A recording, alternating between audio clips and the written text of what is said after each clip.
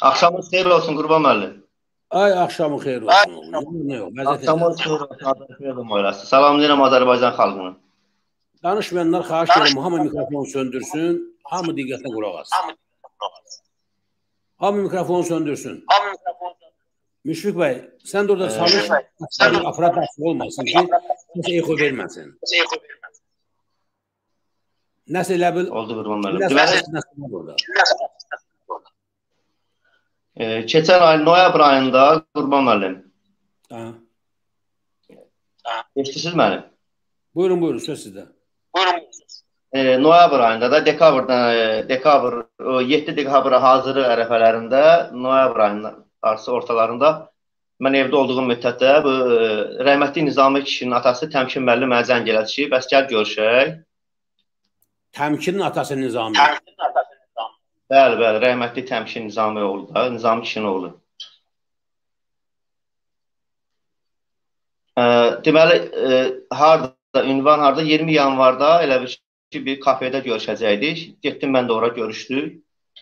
Mən ora gedəndə e, Nizami kişi e, Məmmədov Ruslandan bir yerdə idi. Mən ora çatdım kafeyə. Görüşdük, salamlaşdıq. Mən onu əslində tanımadım. Mən onu tanıdım, o məni tanımadı. Salamlaşdıq. Mən ona salamlaşdım ki, bəs Ruslanda mən sizi görmüşəm efirdə. Dedi ki, hə, bəs mən Ruslan Məmmədovam. Bəs siz? Dedim ki, Məmmədov müşfiqdir. Mən də zərər çəkmişəm, efirdən iştirak eləmişəm. Nizami müəllim də mənə təqdim elədi ki, bəs bu filan kəs təmkinin iş yoldaşı olub. Biraz oturduq, çörək yedik. Bir süfrə açmışdılar orada çörək yeyəndən sonra. Bir müddət belə öz aramızda da e, şəxsi söhbətlər elədik ki, ailə vəziyyəti nə tərsüz, nə edirsiniz belə o yan beyandan sonra sual verildi ki, bəs bu işlər mən sual verdim ki, bəs bu işlərin axırı necə olacaq da, bəs bu, bu gedişat hara gedir? Bu həmən ərəfədə sizin bu araşdırmalardan sonra bu Nizami kişi həmən o süfrədə başladı bu İqbal Ağazadəni, bir də ki bu e, İlham İsmail barədə söhbət açılanda, bəs bunların ifşası gedirdi, siz onları ifşa edirdiniz. Nizami kişi bunları başladı ki, təhqir eləməyə ki, bunlar əzlafdırlar, şərəfsizlər, bunlar tərtərdə e, həqiqətən də e, cinayətində belə e, xəyanətin fakt olduğunu təsdiqləyirlər, belə elə başladılar söyməyə. Mən də əslində mən də başladım bunları təhqir eləməyə. Təhqir eləyəndə e, Nizam e, Ruslan başladı belə özündən asılı olmayaraq reaksiya verməyə ki, bəs onların sizi sizin onlara söyməyə haqqınız yoxdur. Siz niyə onları söyürsünüz, niyə təhqir edirsiniz? Onlar bizim işi araşdıracaq əsl adamlardır. Mən 2 gündür Bakıdayam, 3 gündür. Sırf mənim görüşlərim onlarla olub, o işte adamlarla olub ki, İqbal İqbal'la İlham İsmail adamlardır. Bəli, bəli. Biz söhbət açılanda Nizami kişi onları təhqir eləməyə başladı. Nizami əmi, mən də qoşuldum o təhqirlərə. Mən də təhqirlədim ki, bunlar alçaqdılar da, bunlar şərəfsizlər. Tərtərdə həqiqətən təhqir, e, xəyanətin olduqlarını xalqa çatdırmaq istəyirlər, yalan məlumatlar sızdırmaq istəyirlər xalqa. Bu bizim əleyhimizə qayıtdı ki, mən sizə and verirəm, and içirəm ki, hətta öz özü barəsində söyüşlər söyledi ki, bəs oğlum, oğlumun canı, nə mənim nəslim belə var, yoxum belə ki, siz onları söyməyin, təhqir eləməyin. Onlar bizim iş, cinayət bu işin açılmasında köməkçidirlər, bizə dəstəkdilər. Heç yerdə də bu söhbətləri açmayın, bu söyüşləri söyməyin. Hmm. Beləncə, oxşum mən də bu həmən bu Ruslanla yenə oturmuşuq bir yerdə. Mən buna dəfələrlə sual verdim ki, bəs sən mən səni televiziyalarda görmüşəm, sənin orada hayqırtları, bağlar eləyirdim. Bəs sən qurban mərrə xartdı, tan, bu xalqa ta, tanıt da ki, sən zərər çəkmiş kimi də sən niyə birdən-birə bu e, İqbalı və yaxud nə bilim o kimləri, kimlərdə bu cinayətkar cinayətkarları dəstəkləyən adamların arxasında durursan? Bu qayıtdı ki, bu mən dedi 3 gündür, 4 gündür bu Bakıdayam, bunlar adamlarla görüşürəm. Bəs bunlar söz verirəm balamın canına, and olsun Allaha, bəs belə-belə də hətta bir əxlaqlı özü şəxsi söyüşlər söylüyor ki, mən öz barəmdə də ki, bəs belə-belə ki, bu işləri bunlar açacaqlar da, bunların köməkliyi olacaq belə elə. Məsələn, bu söhbətlər bağlanandan sonra orada bir iki ifadələr işlətdi. Bir ki, bu e, Qorxmaz Qasımov Qorxmaz Qasımov var, bizim zərər çəkmiş Mingəçevirdən. E, ki, bəs siz bilirsiniz, xəbəriniz var, Qurban Məmmədli də bu Azər Firidun ailəsində e, qorx qorxmazı biabır eləyib, bəs onun çıxışda çıxış eləyib, onu təqdim edib efirlərə çıxardıb xalqın qabağına ki, güya bunun başına bu oyunlar açıb. İndi də həmin adam da utandığından güya öz məhəlləsində Mingəçevirdə yaşadığı məhəllədə qalmır. Çıxıb Bakıdan, güya Mingəçevirdən köçüb ailəsinin uşağını da götürüb onu məktəbə qəbul eləməyiblər. Bu biabırçılıqlara görə də onun başını öz başına gələnlər danışdıqlarına görə çıxıb gəlib Bakıda qalır. İndi Qurban olan arxasından durmur, nə bilim. Mən həqiqətən getdim onun üstünə ki, bəs sənin nə əsasların var da bir dəqiqə zəng elə qorxmaza, qorxmazla mənə danışdır. Görə bu nə məsələdir də? Bu ola bilməz ki, belə bir şey olsun. Qurban müəllim bunun arxasında durmasın. Hə. Dedi ki, bu söhbətlər həll olacaq, nə bilim, nə, nə. Mənə bir iki suallar verir ki, qatil dedi bilirsən, bu söhbətlərdə maliyyə söhbətləri var. Ki, e, siz eşidirsiniz məni orada? Bəli, bəli, bəli, eşidir, dinləyirik. Sənə bütün Azərbaycan eşidir. Hə. Qatil ki, burada maliyyə söhbətləri var. Bəs e, niyə mənim kartı, nə bilim, e, başqa məsələn mənim kartımı Ruslan özündən gətirdi. Ki, mənim kartımı və yaxud Nizami kişinin ora kartını qoymayıblar filan kəslərin, filan kəslərin kartını qoyurlar. Bəs e, İlham Aslanoğlu'nun əvvəl deyir verilişə çıxanda nə bilim e, bir dənə prosto telefonla çıxmışdı. İndi nə bilim 2000-lik, 3000-lik telefonu var. E, bəs altında nə bilim neçə minlik maşın alıb qoyub, bəs belə-belə, bəs validə ananın nə bilim gəlirlərindən zadından mən sonra nə bilim bilirsən e, Elmarın adını çəkmir. Bəs dedim ki, bəs Elmarın da kartını qoyub da ora, o kartlar ona görə qoyulub ki, xalqa ora Qurban müəllim ora xalqa müraciət edir ki, ora köçürülən yardımlar zərər çəkmişlərə, o ziyan çəkmişlərə, nə bilim e, şəhid olanların ailələrinə köməklik kimi də belə. Hə. Bu qayçı yox, sən sənin xəbərin yoxdur.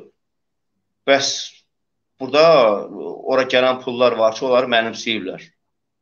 Hmm, bəs qurban da burada nə bilim rol oynayır, nə bilim kimin adam, nə bilim nəsə belə də kimlərin adamıdır ki, nə bilim ölkədə onsa kimsə tapşırıb, nə bilim edir bu işi açılmaqdan ötürü. Dedim ki, ola bilməz də. Mən səninlə bu söhbətin ciddiliyinə gedirəm. Bir dəqiqə məndə Qurban müəllimin də nömrəsi var, İlham Aslanoğlu'nun da. Bir dəqiqə yanınızda yığım, danışaq da sizi mən məsəl üçün efirə qoşum, ya yaxud birbaşa canlı bağlantı yaradaq Qurban müəllimlə ki, ola bilməz də bu Qorxmaz da belə desin, siz də belə deyin. Bəli. Gərəzdən yerə bir qoşardı, sonra nə tərəfdə? Mənə kim tapşırır ki, bu işi açım? Deyə qurbana buradan tapşırıblar ki, bu işi açsın. Yəni anlamadım mən. Hə, hə, deyir ki, elə bir ki, gör qurban bu işi öz başına aça bilməz. Qurbanı belə tapşırıblar, nə bilim, nə, nə, gör burada, nə bilim. Özə, həmən ərəfələrdə elə bir ki, 7 dekabr ə, bizim o prezident, cənab prezidentə ərizə vermə aksiyasından qabaq idi də görüşümüz. Bu elə onu bilirdilər deyə yoxsa bilmirəm nə hissləri vardı, bunların 6-cı hissləri oyanmışdı yoxsa necə. Bunlar elə bir deyirdi ki, siz Azər Fredom'a baxmayın da, o televiziyadan çıxın, ora çıxışlarınızı dayandırın, o Qurban müəllim saxta-saxta söhbətlərə qulaq asmayın. Bəli. Ruslan deyildi ki, Azər Fredom'a baxmayın da. Hə, Ruslan da, Ruslan Məmmədov Bərdəli o deyirdi, qışqıra-qışqıra deyirdi, mənim dırnaqlarımı çıxardıblar, mən nə bilim nə ediblər. Köş oğlan. Hmm. Mən dedim ki, burada saxta heç bir şey ola bilməz də. Biz bu Azərfredondan qabaq, Azərfredon efirət yəni e, bu cəmaatı, Qurban müəllim xalqı bu çatdırmamışdan qabaq heç bir zərər çəkmiş, heç bir dərdin heç deyə bilmirdi. Heç kim ona baxmırdı. İndi şükür Allaha biz səni də mən dedim ki, mən hələ axırlarda boşulmuşam, mən əzərət çəkmiş kimi. Amma mən siz mən ora çıxanda siz hamınız orada idiniz. Sizi Qurban müəllim, Ərəstun müəllim, nə bilim İlham Aslanoğlu da bunlar efirə çağırıblar, çıxardıblar sizi üzə xalqa tanıtdırıblar ki, belə bir ölkədə belə bir hadisə baş verir. Bunların da qurbanları bunlardır. Məsələn, Ruslan, nə bilim Elnur və yaxud başqaları və s. içimən qarşı. Mən bunu başa sala bilmirəm də elə bu mən dedikcə bu tam əksinə gedir. Deyir ki, Sən bilmirsən orada nələr baş verir, nə oyunlar baş verir, nə bilim nə nə nə. Bir elə bir ki, antrakt baş verdi orada. Elə bir süfrədə dedi ki, çıxaq çölə söhbət eləyək. Çöldə söhbət eləyəndə mənə qayıtdı ki, sən görürəm belə mərfətli oğlansan, belə elə, nə bilim nə. Dedi, sən məsləhət görürəm, də uzaqlaş. Azərfiyodundan uzaqlaş, sənə yaxşı yol göstərə bilərəm. Belə dedim ki, mənə hansı yaxşı ola bilər? Qayıtdı ki, o, o barədə sənə danışarıq. Hmm. Təzədən heç bu söhbət burada qaldı. Qayıtdıq təzədən içəridə oturanda e, mən buna təzədən sual verdim ki, bəs qorxmaz barəsində də qorxmaz həqiqətən belə deyib ki, Qurban müəllim görə bunu ifşa elədi ya çıxartdı üzə. Bu həqiqətən də biabırçılıq keçirdi belə elə. Dedi ki, onu istəyirsən şeydən soruş. Keçən səfər dedi mən şeylə görüşmüşəm. Qorxmazla. Qorxmaz mənlə görüşəndə az qalır ki, ağlaya deyək ki, bəs mən biabır olmuşam, Mingəçevirdə yaşaya bilmirəm, çıxıb gəlmişəm Bakıda yaşayıram Xırdalanda, nə bilim nə, uşaqları məktəbə qoya bilmirəm, belə elə. Hmm. Bu söhbət elə burada bağlandı. Sağollaşdıq, ayan bir an, çıxdıq gəldik. Hə, yox, bağlanmadı. Deməli, sonra gəldik başqa bir e, kafedə elə bir ki, oturduq, çay mı, biz çay içdik, pivə zad doldu, da belə içki məclisi oldu. Mən bana sual verəndə ki, bəs məsələ bir dəqiqə məsələsində çıxardı, zəng edirəm Qurban müəllimə və yaxud İlham Aslanovuna zəng edirəm, bu dedikləri ora deyə bilərsən. Bunda iki dənə telefonu vardı. İki telefonu var. Bir prostoy telefonudur, belə sadə telefon. Bir də böyük telefonu vardı. Buna tez-tez zəng gəlirdi. Qayıtdı ki, mən telefonları aça bilmirəm, nə də sizə cavab vermirəm də. Elə biz buna sual veririk, bu telefonu atır qulağına. Tez-tez. Bəs qayıdır ki, filan kəslər mənə icazə verməyəcək, nə bilim nə. Deyir ki, filan kəslər kimi deyirsən, Bunlar məni narahat edirlər. Mən bunlardan bunlar məndən nə istəyirlər? Dedim ki, kimdir də bu? Sənin danışdığın adamlar kimdir ki, biz də səninlə zərər çəkmişik, bir yerdə oturmuşuq. Qayıtdı ki, DTX mənə icazə DTX mənə qoymur da, narahat eləyir. Hmm. Bəs gözləyin, gözləyin bir dəqiqə, bəs belə-belə bu zənglərin birində də bu e, bizi ikimizi tək qoydu, çıxdı çölə. Çıxdı çölə telefonla danışmağa ki, bəs adam zəng edib mənə, çıxdı danışmağa. Bu elə bu buna çıxmağa axırıncı çıxış oldu. Çıxdı, yoxa çıxdı, çıxdı getdi. İndi sonra mən buna öz telefonumla zəng elədim, açmadı. Öz telefonumla zəng elədim ki, bəs hara getdin, bizi burada tək qoydun, belə elə. Açmadı. Sonra Nizami kişinin telefonundan zəng elədim buna çöldə. Nizami kişi içəridə oturmuşdu. Zəng elədim. Qayıt ki, müşfiq sənə bir məsləhət görəcəm başı bu işlərə soxma. Bizi izləyirlər, mənə DTX izləyir. Mən ona görə sizin yanınızda oturmadım. Ki, güya siz də təhlükəyə atmaq istəmədim. Mən dedim ki, burada nə təhlükəli ola bilər ki? Biz zərər çəkmişlər biz idi. Mən istəyirəm ki, o dövlət nümayəndəsi gəlsin, bizi orada görsün də, bizi zərər çəkmişlər bir yerdə görsün, problemimizi maraqlansın da, nədən danışırsınız, nə, nə haqda danışırsınız. Mən də gedim onlara deyim ki, bəs harda nə görmüşəm, təsərdə nə görmüşəm, bunlar haqqında danışaq. Sən niyə gizlənirsən ki? Demirsən DTX, TTX, bəs sən məni izləyir, telefonları qoymur, bir dəqiqə, əlin ancaq telefondadır, bəs cavab ver də, çağır bura nümayəndə heyət. Əgər sən izləyən adam varsa, çağır, görüşək, biz də dərdimizi deyək də. Əgər sən dərdi dümsənsə, biz də dərdimizi deyək. Bax ki, müşfik, telefonda deyir mənə. Sən dedi, başı başlara soxma. Bəs da get get öz işinə məşğul ol. Bu get uşaqların yanına, nə bilim nə, bu təhlükəli işlərdir, nə bilədir, dedi, şeydir. Qoşulma da, dedi, Azər Firodundan zətdən uzaq dur, Qurban müəllimdən, nə bilim, bu işlərdən uzaq dur. Dedim ki, bu mümkündür də, biz səninlə görüşəcəyik.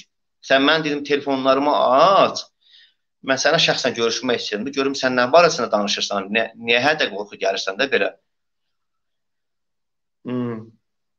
Bu yenə də mənə hədələdi ki, dedi, ehtiyatlı ol da, sən dedi, bilirsən nə təhlükələr gözləyirsiniz, nə bilim, nə, nə dedim, hansı təhlükədən danışırsan da, bu, bu təhlükənin biz biz kiməsə işgəncə verməmişik ki, biz kimisə alçaltmamışıq ki, bizi alçaldıblar da, bizi gəlib axtarıb sorğu-sual eləmədilər ki, sən kim nə elədi, kim idi, hansı adam idi? Gəlsin mənə dindirsə, mən bir dəqiqədə danışıram onu.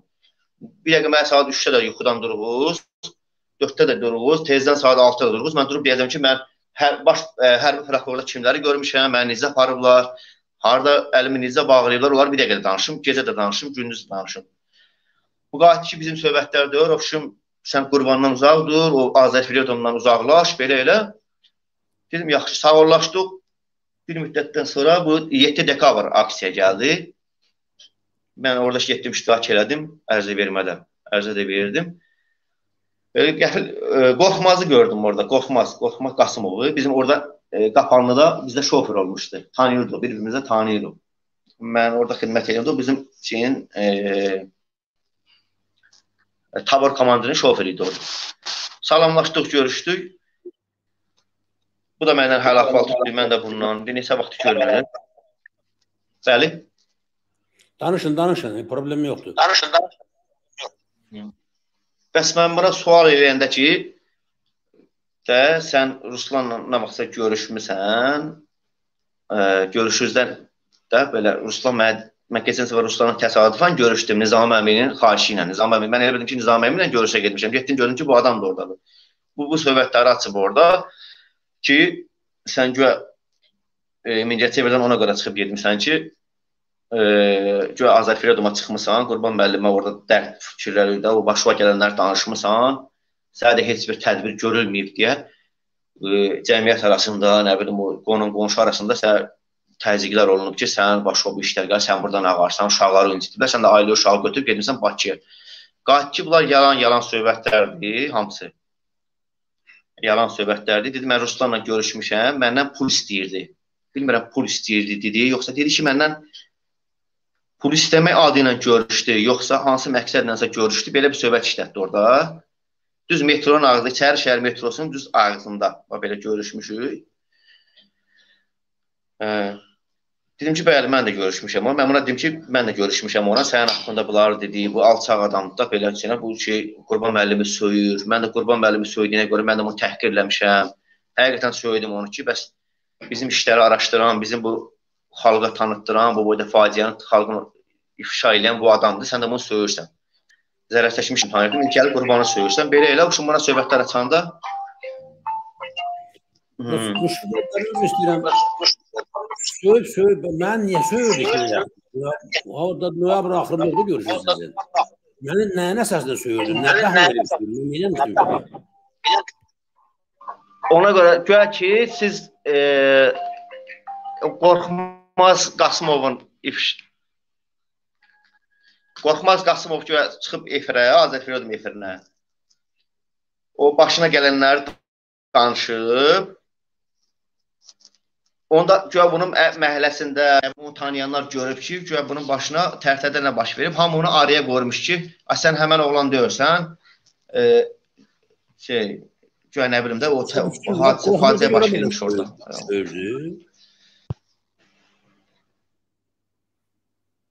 Güya Qurban müəllim də bunun arxasında durmayıb deyə bu da bunu Qurban müəllimi söyürdü. Dedim ki, mən Qurban müəllimi tanıyanda heç biriniz tanımamışsınız da. Mən Qurban müəllimin oğlu ilə əskərdə bir yerdə olmuşam Elnur Məmmədli ilə. E, Sulu postunda bir yerdə bir ilçə xidmət eləmişik. Mən onu yaxşıların orada görmüşəm. Bax Nizami əmi də Allah şahididir. Nizami əmi eşitdi bunu çıxıb. Bir dəqiqə efirdə deyə bilər. Demişəm Qurban müəllim ora gələndə hələ onda heç kim Qurban müəllimi belənçini ətrafı tanımırdı. Onda Azərbaycanlı idi. Elnur Məmmədin yanına gələndə şəxsən mən Qurban Məmmədovla görüşmüşəm. O bizim öz cibinin pulu ilə postlara dərman alıb gətirirdi. Bütün post postlara, bölmələrə, bizim bölgəyə e, produktlar alıb gətirirdi dəfələrlə. Mən Elnur Məmmədovun bir çox xidmət edim. Mən Qurban müəllimi tanıyanda heç kim tanımırdı da. Qurban 2005-ci, 2006-cı ildə mən Elnur Məmmədovun əsgər olmuşam. Onların sizin evdə də olmuşam, onların evində. Bəs qayıtdı ki, onlar o saxta söhbətlərdir. E, Bəs o həmən Elnur Məmmədli də heç bilmirsən hardadır. Qurban müəllim də İngiltərədədir. Onların evlərini də dağıdıblar. Bəs belə-belə dedim ki, mən inanmıram da. Mən inşallah Qurban Elnur Məmmədini də tapacağam. Mən əsgər yoldaşım olub. O mənə bir uca bir yerdə xidmət olub. Belə elə.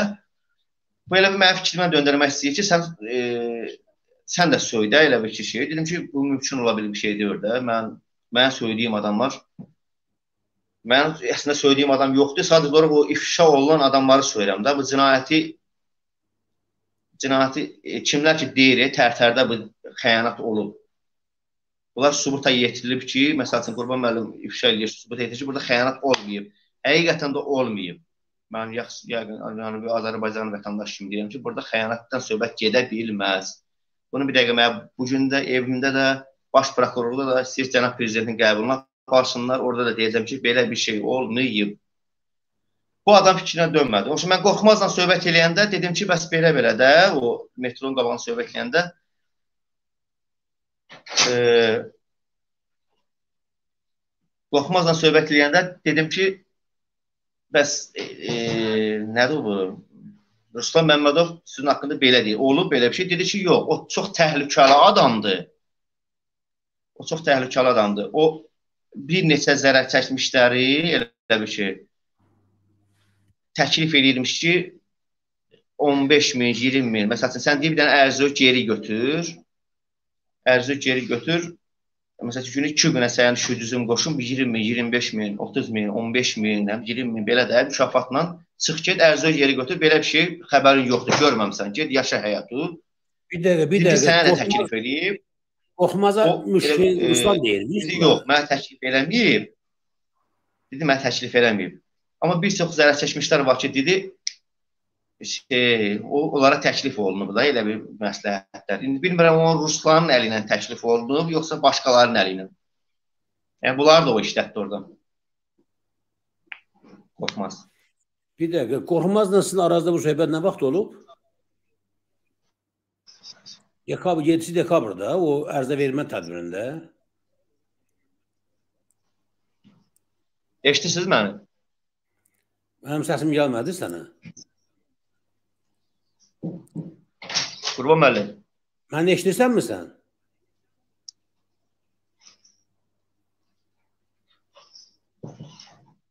Müşfiq bəy. Yox, yox, Qurban bəy, eşitmə. E, Müşfiq eşidirsən sən bizi? Deyəsən telefondan düzgün istifadə edə bilmir. Hə, düzgün istifadə eləmədi. Eşitmirəm, eşitmirəm. Səs eşitmirəm, müəllim. Sən telefonun səsini ver eşiyə də eşit, bizi eşit axı bizi. Sən telefonun səsini ver eşiyə, mikrofona qoy, rahat danış, eşit bizi. Müşfiq orada qulaqçıq varsa sən qulaqçıqla qoşul, qulaqçıqla.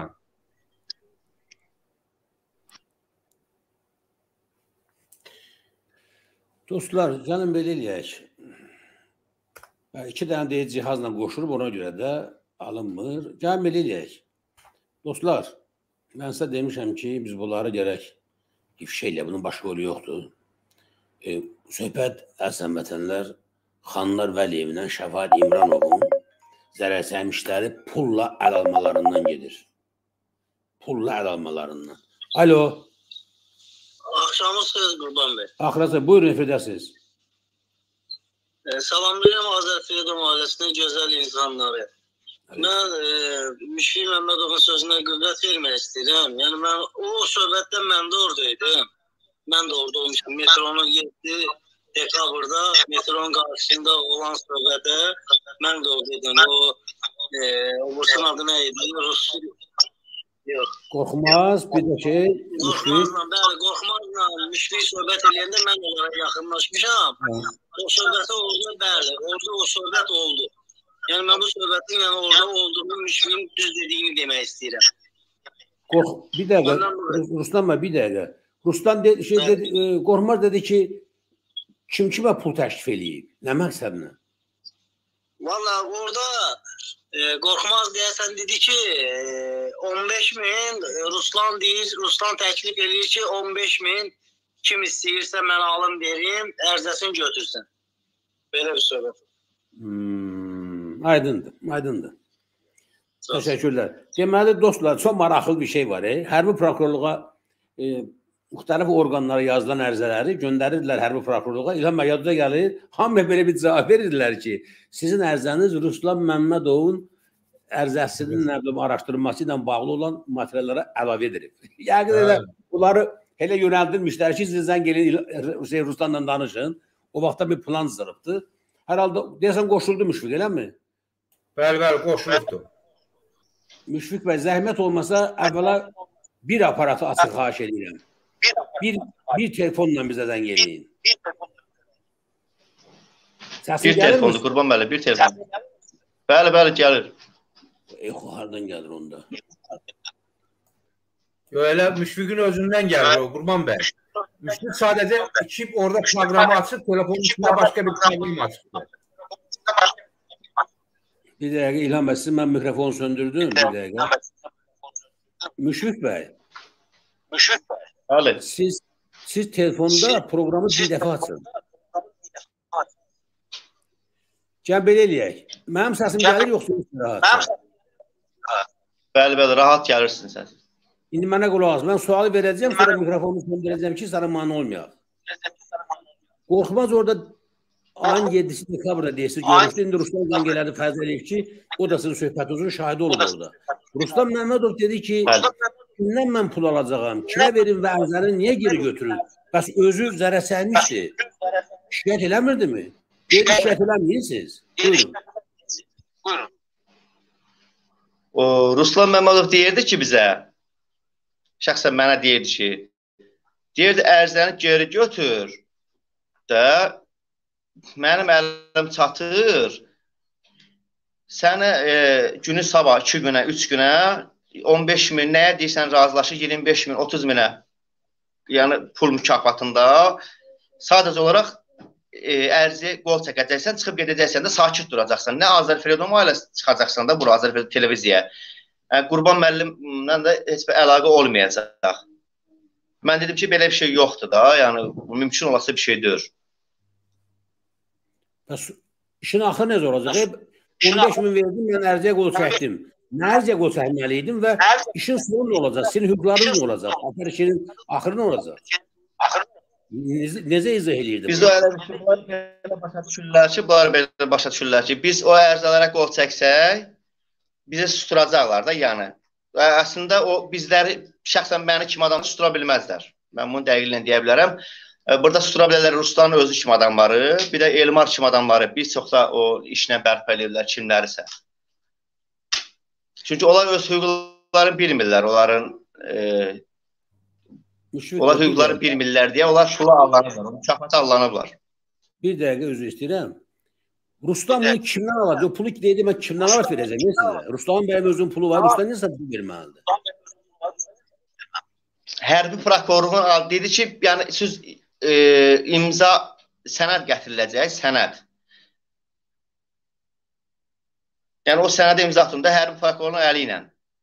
E, orada e, Ruslan Fəzəliyev var, Sabirabaddan da oğlan, Bakıda yaşayır. Təxmini belə o o da yanımda idi. Bir də e, sonradan bizə yaxınlaşdı Zeynalov Şəhriyar, həmin o metronun çıxışında, o söhbətlər gedəndə. Onlar sonradan yaxınlaşdılar. Mən o e, qorxmazla o söhbətləri danışanda. Ruslan elə bir ki, Siz bayaq efirdə olmayanda Ruslan zəng elədi, dedi. Siz yəni təsdiqlər dedi ki, mən də orada olmuşam. Eşitmişəm ki, qorxmazdan deyib ki, şey müşfiqə. bəli, bəli. Təsdiqlədi o siz. Yaxşı gəlin deyək. Qorxmazın dedikləri bu- təsdiq Amma Ruslanın dedikləri Ruslan şəxsən mənə demişdi. Mən də gəldim ondan soruşdum ki, belə bir hadisələr olub, qurban haqqında siz belə bir fikirdə o dedi ki, yox. Olmayıb. Ruslan çox saxtakar adamdır. O e, zərər çəkmişlərə mükafatlar təklif edir. Hərbi prokurorluğun əli ilə ki, hərəsinə 15 min, 20 min, 25 min gəlin imza atın, çıxın gedin. də e, sakit durun. Yəni bu iş haqqında heç kim heç nə danışmaz. Dedim ki, mən tarixi bu ona razı olmaram. Aydındır, gəlin eləyək. Dostlar, əslən vətəndaşlar, bizim bir telefon söhbətimiz var. E, tərəflərin özünün iştirakı ilə mən onu edəcəyəm. Bu telefon söhbətini e, baş verir Nemət Məhərrəmovla Müşfiqin arasında. Mikrofon söndür Nemət. Müşfiq, mikrofon söndür. Ay sağ ol. Xahiş edirəm hamı diqqətlə qulaq assın. Birazdan e, yəqin ki qorxmasın özü də qoşulacaq canlı olaraq efirə. Bu günləri bu məsələyə aydınlıq gətirmək lazımdır ki, nə baş verdiyi xalq bilsin. Xanlar Vəliyevə də buradan deyirəm ki, özünüzü boş yerə yormayın. Sən bu uşaqların düşdüyün iki vəziyyətdən istifadə edib ola pulunu əl ala bilərsən, nə bilim, e, şantaj edə bilərsən o videoların zadından boş şeydir, bunun axırı yoxdur. Vallahi billahi səhv yoldasınız. Və buradan müraciət edirəm bir daha ölkənin başçısına, e, İlham Əliyevə. Kamran Əliyevə müraciət etməmin xeyri yoxdur. Bütün bunların hamısının təşkilatçısı Kamran Əliyevdir. Cənab İlham Əliyev, əgər siz doğrudan da bu işin açılmasının tərəfdarısınızsa, bu dəqiqə deyilən bu məlumatlar ki var, Xanlar Vəliyev və Şəvad İmranov pulla zərər sərmişləri alamağa cəhd eləyir. Bundan əvvəl də bunu eləyib şantajla 2019-cu ildə sizə təqdim edəcəm mən konkret faktları. Mən xahiş edirəm, tədbir görün. Əziz həmvətənlər, dəyərli dostlar, xalq olaraq mən istəyirəm ki, sizlər baş verənlərin mahiyyətini anlayasınız. Sizlər biləsiniz ki, Azərbaycanı kimlər və necə idarə edirlər. Diqqətlə qulaq asaq bu telefon söhbətindən sonra davam edəcək. Nə edirsən? Hə, heç nə yemək, lava nə yox. Salamatçılıq sən nətərsən? Vəziyyət sən nətərdir? Şükür Allah, yaxşılıq, salamatçılıq, nə iş? Salamatçılıq olsun. Nə edirsən? Haralardasan? Heç nə, rayonda, burada. Allah yaxşı. Söz deyirəm qardaşım, mən bir ə, söz eşitmişəm, ona görə Mən sizdən çox xahiş edirəm. Bəyənin, paylaşın. Bəyənin və paylaşın ki, bu millət çox xəbər tutsun. Millətin xəbər olsun ki, başdan nə fəlakətlər gəlir. Gözləməyin. 5920 500-920 nəfər bu dəqiqə baxır YouTube-da. Bilim, Facebook-dan qədər baxır, 5 sosial şəbəkədə. Hamız demirəm, yarısı bunun bir dəfə paylaşsa, hər öz dostunu, qohumunu çağırsa ki, gəlin baxın görün burada. Nədən danışırlar? Bu deməkdir ki, 2 qat, 3 qat bu xəbərin yayılması sürətlənəcəkdir. Neçə ki mənim xalqımın mütləq əksəriyyətinin Azər filmdə aparılan işdən xəbəri yoxdur. Allaha and olsun qurtuluşunuz yoxdur. Mən buna adım kimi, Allahım kimi inanıram.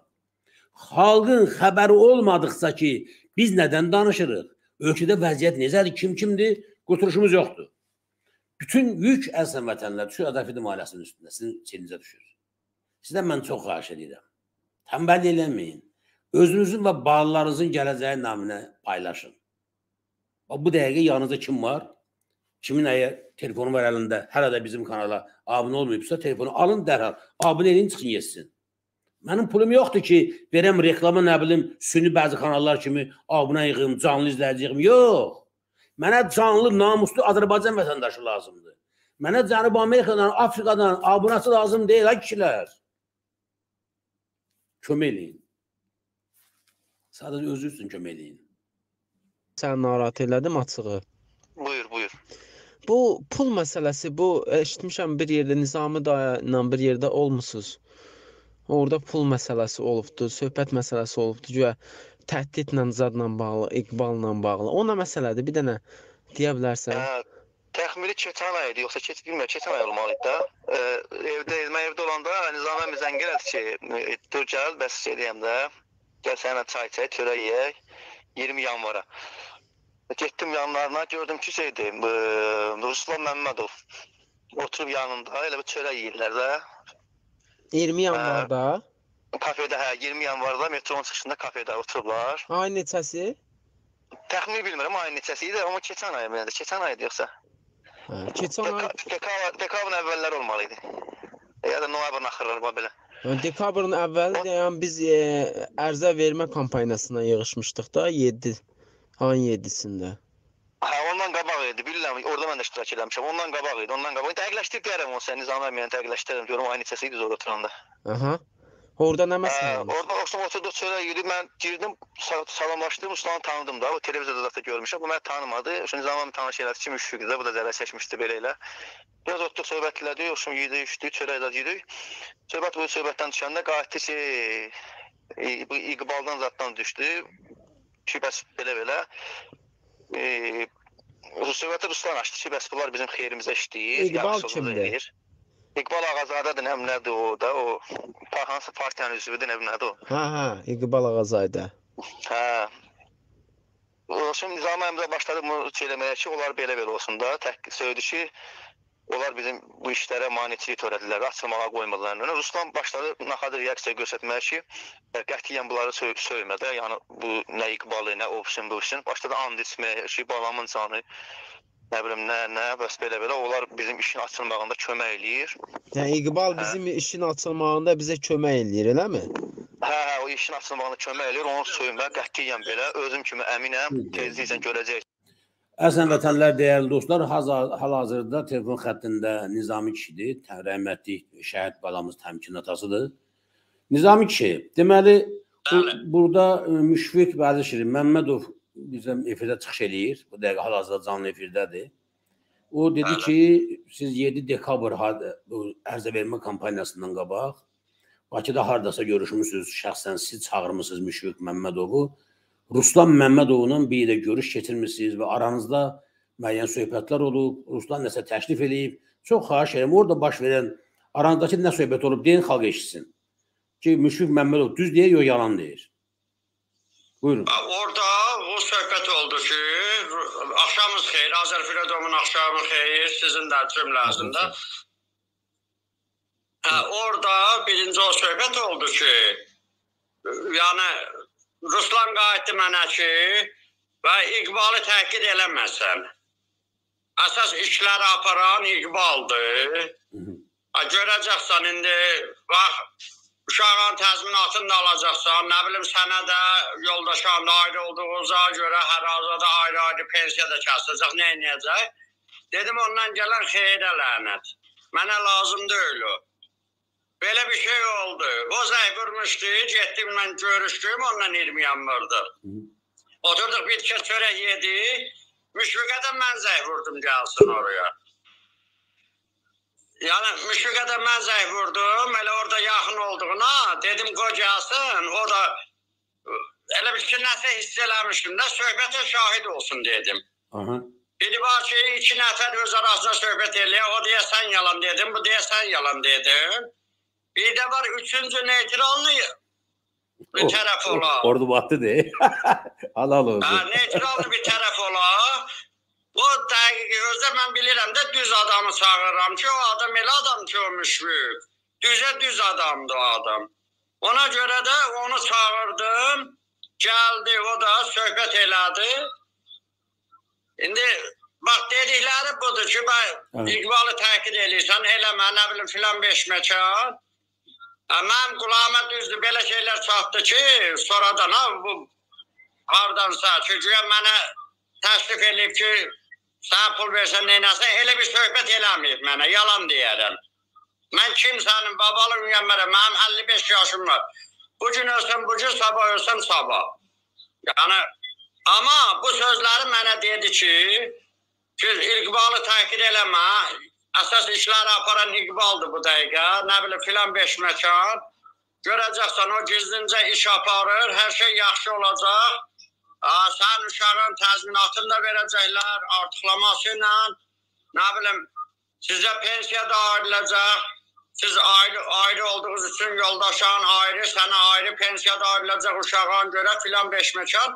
Mən də qatim dedim ki, ondan gələn xeyrə lənət olsun. Mən birinci uşağımın haqqını tələb eləyirəm ki, yəni şəhidlik adı verilsin bir. Uşağımın qatilləri cəzasını çəksin iki. Mənə ən vacib olan onlardır. Haqq da yolun tapandan sonra maddi mənəvi təzminat samasoboy dövlət özü biləcək nə eləyəcək. Belə olub söhbətimiz. Siz Bəli. axıra Mən qədər indi qoşula bilmirəm. Məndə əngəllənmə var, bilməm nə təridirsə. bir dəqiqə. Mənim Nizami şey. qoşun, neçə vaxtı qoşulmaq istəyirəm. Nizami şey. mən bilirsiniz ki, geri qaçmamışam. Nizami kişi bir dəqiqə. Siz Bəli, axıra qədər o söhbətdə oldunuz Müşfiqlə bir yerdə Ruslanla. Bəli, bəli. Aranızda olan bütün söhbətləri siz indi danışdınız, yoxsa yadınızdan çıxan nəsə var? Ola, ola bilsin ki, nəsə yaddan çıxa bilən bir şey olar. Ha belə bir, bir də deyim, bir də deyim. Hı. Bağışla, yox, Nə yaddan çıxıb ki? deyim indi bir də. Buyurun. Elə bil ki biz oturmuşduq belə. Ruslan durdu ki mən birazdan gəlirəm. Sizdə mən çağırdı eşiyə. Yəni nəyəsə ehtiyacı vardı. Mənə müraciət elədi o heç maddi cəhətdən. Hə, əlavə də, əlavə də. Ə, sonra oturmuşduq Müşfiq və Ruslan. Oturmuşduq. Ruslan durdu çıxdı eşiyə. 5 dəqiqə, 10 dəqiqə, 15 dəqiqə Ruslan qayıtmadı. Müşfiqdə də kontur yox idi. Dedi, əmi səndə kontur var. Zəybırım görüm bu harda. Dedim kontur da var. Ruslanın da nömrəsi elə bayaq danışmışıq da elə qabaqdadır. Yığdım, verdim, dedim al danış.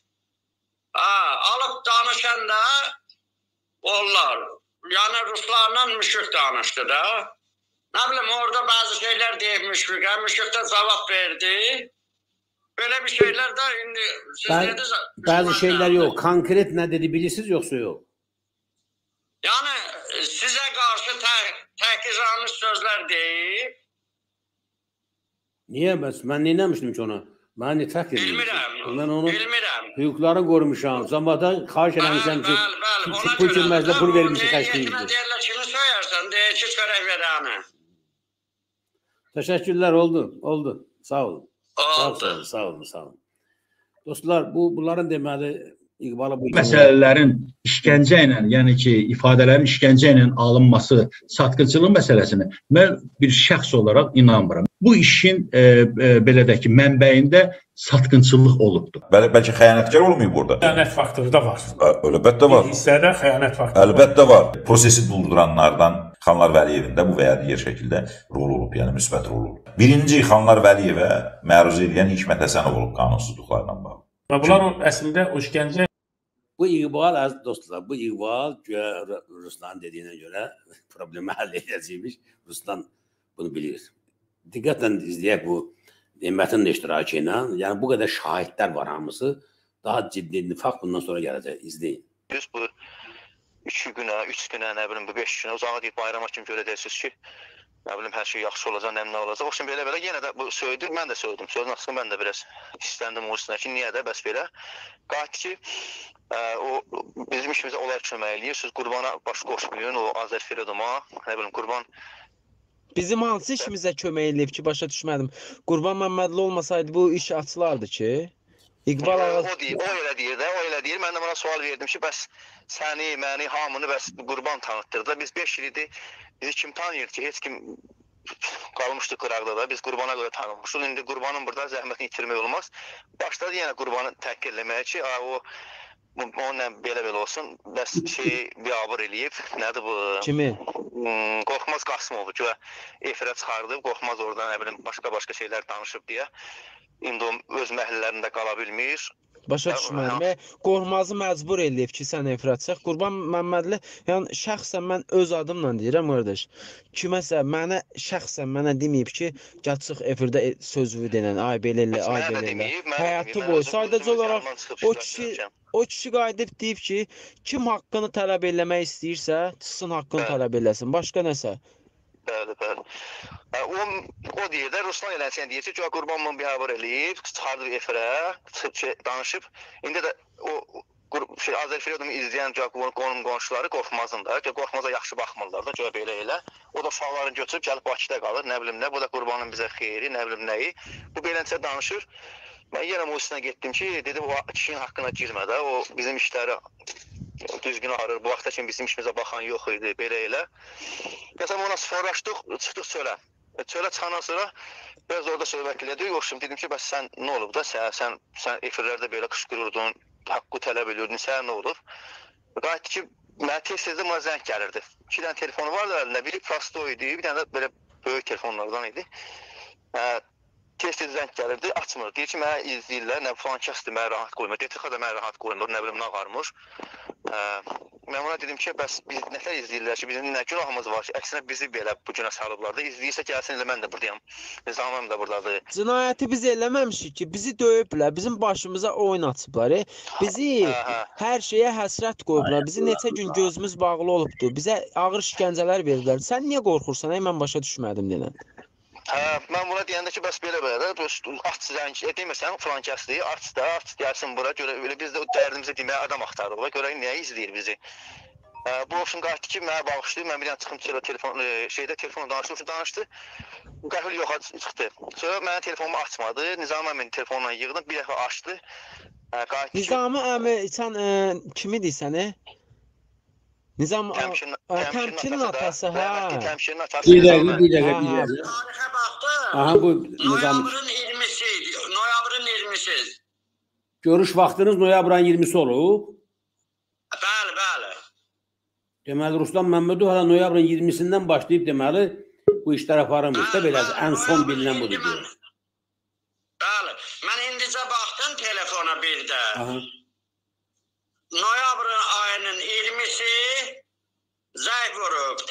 Saat 12:38-dən, yəni günortaya yaxın 12:38-dən başlayıb zəng vurmağa. Dəfələrlə zəng vurub mənə. Axşamüstü görüşmüşük. Qaranlıq düşmədən görüşmüşük. Hardasa 15-45 idi, nə idi o vaxtlar görüşmüşük. Ondan kimi bir sual verim zəng eləmisiniz, bir dənə sual verim, olar mı? Buyurun, buyurun. Siz əvvəllər e, Müşfiqi tanıyırdınız. Rus- Ruslan Məmmədovu tanımısınız əvvəllər. Ruslan Məmmədovu belə zəyləşmişik, görüşmüşük. Yox, bu deyirəm bu hadisəyə qədər, bu bu bizim müzakirələrə qədər əvvəldən tanımısınız yoxsa yox? Yox, yox. Nə vaxt tanımağa Yox, başlamısınız? Nə vaxt tanımağa başlamısınız onu? Mən Ruslanı sizin efirdən tanıdım. Bizim evdən tanıyın. Ondan ilk Bəli, dəfə ondan sonra da ilk dəfə də vəkilin yanında görüşmüşəm mən onunla. hansı vəkilin? Bu, Rəsul müəllimin. Rəsul müəllim kim? Nə vəkil başa düşmədim. Və o ki bu indiki işlərə baxmır Rəsul müəllim. Hansı işlərə bax? Anlamadım. Kimdir o vəkil? Familiyasını bilmirəm. Elə keçən dəfə də dedilər, siz də dediniz belə ki, o niyə efirlərə çıxmır, şeylər qoşulmur. Bu nətər vəkildir ki, bu günə qədər sizin haqlarınızı qorumur, çıxıb efirlərə apardığı iş barədə məlumat vermir, demir. Bu nə ilə bağlıdır? Onu bilmirəm də deyirəm ya mən ilk dəfə orada görmüşəm Ruslanı. Ruslanla bir yerə getmişdiniz o adamın yanına. O, Yox, yox, mən getdim Ruslanı orada gördüm. səni kim çağırmışdı ora? Ora mən getmişdim ərzə yazmağa. Bəs mən ərzəni yazıb qrupda qoymuşdum ora, başa düşmədim. Mənim də mən yazdığım ərzəni siz O ərzə yox ki, müəllim. Hə. O ərzə yox. Mən e, prokurorluğu sonra həm prokurorluğu, həm şey, Müdafiə Nazirini məhkəməyə verirdim. O barədə ərzə yazdırırdım ki, bu işlər çıxsın ortaya, məsələn, uşağımın hökmün ləğv olunmasında filan da bildim, qərar bildim. versinlər, o barədə Bildim, mən hə, bildim. 20 hə, noyabrdan yazdım. 20 noyabrdan qabaq axırıncı dəfə Ruslan Məmmədovla nə vaxt zəhləşmişdiniz? O, onu deyəmərəm, arada zəng vurub, arada zəng vurub danışmışıq, elə belə. Sadəcə danışmışıq. Nə ilə bağlı belə sizdən yaxınlaşmaqda nə hiss eləmirsiniz? Nə danışırdı sizə? Heç bir şey elə belə, salam həmin nə var, nə yox. Demişəm, sağ olun. Oldu. Təşəkkürlər. Oldu. Ha, Sağ olun, sağ olun. Başa düşdüm. Hə. Bu telefonu açdığın zaman mən telefonu açdım, mən, amma mən danışırdım da. Dedim ki, bəs belə-belə sən hara qaçdın, niyə getdin? Bu bir söhbət eləyəcəkdik. Qayıt ki, başı cəncələ soxmağa, nə bilim, sən get həyatı yaşa, nə belə də, yəni problem yaratma özünə. Kim dedi bunu sənə? Ruslan deyir, telefonda deyir. Sən nə deyirsən? Neynəmsən? Cinayət işi törətmisən? Kimsə öldürmüsən yoxsa ki, kimisə əlini Hə. qolunu bağlayıb sən döymüsən? Sən ağır işgəncə almısan da. Bunu sən Mən də ona deyirdim ki, bəs sən də bu sənə də dırnağı çəkiblər, orada qışqırırdın, belə eləyirdin, bəs sənə də işgəncə görmüsən, nə oldu da belə? Bu birinci mənə cavab vermədi. Sonra dedi ki, getdə mən şeydir, başın sağlam olsun, Azər Fredomdur, nə bilim bu Qurban müəllimin də bunları başın bıraq, dedi ki, onlara yaxın durma. Tezliklə görəcəksən ki, yaxşı olacaq. Nə dedim ki, Başa düşmə. Ona sual verərdin də qardaşım. Ona sual verərdin ki, bu günə qədər səni 4 ildə Qurban Məmmədli efirə çıxartmamışdan qabaq səni tanıyan var idi. Sən adam ümumiyyətcə Bəs verdim də birinci o sual verdim ona ki, bəs bu 4 ildə sən səni utanıtdırıb çıxardıb o. Nəinki səni, bu bu qədər zərər çəkmişlərin hamısın. Qurban Məmmədlinin sayəsində bütün zərər çəkmişlər tanınıbdı. İndi Qurban Məmmədlini pisləyirlər. Bu nə nə tərcümə qardaşım? Haqq ədalət öz yerini tapacaq, tapmağına kimin sayəsində? Qurban Məmmədlinin sayəsində. Amma Qurban Məmmədlinin elədiyi haqları itirmək olmaz. Adamın burnundan gələr. Elədir, elə. Hə, sonra nə oldu bəs qardaş? Hə, oxşum bu söhbət belənsib qaldı. E, gəldi çıxdı 7 dekabrda bu ərzə vermə də, də. Hı hı. orada o, məclis qutarandan sonra, aksiya qutarandan sonra axırda bir söhbət idi. Şey Qorxmazı çağırdım, soruşdum ki, bəs belə belə də. Elə belə Qorxmaz onu tanıyırdım. Bizim taborda işləyirdi o. Şofer idi. Bir yerdə görmüşdüm orada. Salamlaşdıq, görüşdük, oxşum belə. Mən ona sual elədim ki, bəs nə məsələdir? Şey, Ruslan deyir ki, ki qurban sənə biabır eləyib. Sən ki o ifrat tutub danışdığına görə sən qonşuda kənddə yaşaya bilmirsən. Şeydə bəs çıxıb gəlmirsən Bakıya zoda. Dedi o yalan söhbətdir. Dedi mən ona görə çıxıb gəlməmişəm. Nə demək heç kim heç nə deməyib. Prosta deyir, mən o vaxt elə çıxıb gəlmişəm, Bakıda işləyirəm, mən Xırdalanda qalıram. Nə bir söhbət elədik. Sonra qayıtdı ki, dedi Ruslan biraz apasın adamdır, dedi çətin adamdır. Və ondan uzaq durur. O deyir bəzi başqa deyir şeylərə zərər seçmişlərə deyir. Hərbi prokurorluğun əli ilə pul təklif edirlər 15 min, 20 min.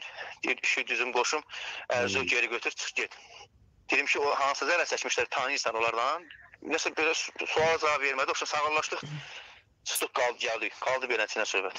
Hə, 15-20 min ə, təhlil eləyirlər. Yaxşı sən o Ruslan ay qorxma, sən qayıdıb o Ruslana deyərdin ki, 15-20 mini aldın, məsəl üçün aldın, yedin də. Bəs bu döyülüb öldürülən qardaşlara nə, valideynlərinə nə cavab verəsən? Bəs deyirdin ki, onların yanındayıq, istəyirik ki, haqq ədalət öz yerini tapsın. Nə bilim. əslində inanmırdım. Qorxmaz o pulu alar, ya da yox almaz o məncə o pul onlardan. Yox, mən də inanmıram ki, almaz o pulu. Prosto qorxmaz mı? Niyə çıxıb məsəl üçün efirdə demir? Səbəb nədir ki, niyə demir? Də onun əlaqə saxlamaq lazımdır. Əlaqə saxlayın. Çalışdığımız qədər mən elə qorxmaza zəng çatmır, yazıq bilmirəm, biraz problemləri zadı var. Onun da zəng çatmır. Eşitmişəm ki, uşağı zadı da xəstədir, ona görə bəlkə də Hə, Allah şəfa versin. Allah bütün uşaqlara şəfa versin. Müəllimə inşallah haqq ədalət Qurban inşallah, sayəsində inşallah. tapar və tapılır da demək olar ki, o kişinin haqqını itirmək olmaz, adam burnundan gələr. Sözsüz, sözsüz inşallah. Sən çalışdığın qədər, yəni efirə qoşulsan, bunu efirdə deməyin lap əla olar qardaş. Efirə indi söz vermirəm bu günü qoşulam, ya sabaha qoşulam. İndi buradayam da. E, Mən hüzur yenə gəlmişəm, əm rəhmətə gedib də. Allah Amma rəhmət belə etsin. qoşulacam. Səsimi istəyirsiniz ora göndərin, amma qoşulub bir gün danışacağam orada. Hə, məndə tel telefon yazır. işləyir, hə, başqasının ümumiyyətcə- telefonuna girəm. Ya məndə telefon ümumiyyətcə yazandır. Ümumiyyətcə əgər istəsən, yəni nə tər Hə. lazımsan, yəni səsi efirə də verdirə bilərəm. Çünki mən də istəyirəm ki, haqq ədalət öz yerini tapsın qardaş. Köməkdarlıq eləmək lazımdır. Qurban müəllimə kömək eləmək lazımdır ki, bu görək bu işin üstü açılsın. Heç kimsə deyir ki, güya zərər çəkmişlərin çoxu bizdən qaçır. Bizdən qaçırdırlar. Güya Qurban müəllim Ben siyasətdən danışır, siyasət Qurban müəllim siyasətdən danışır, siyasətdən danışır.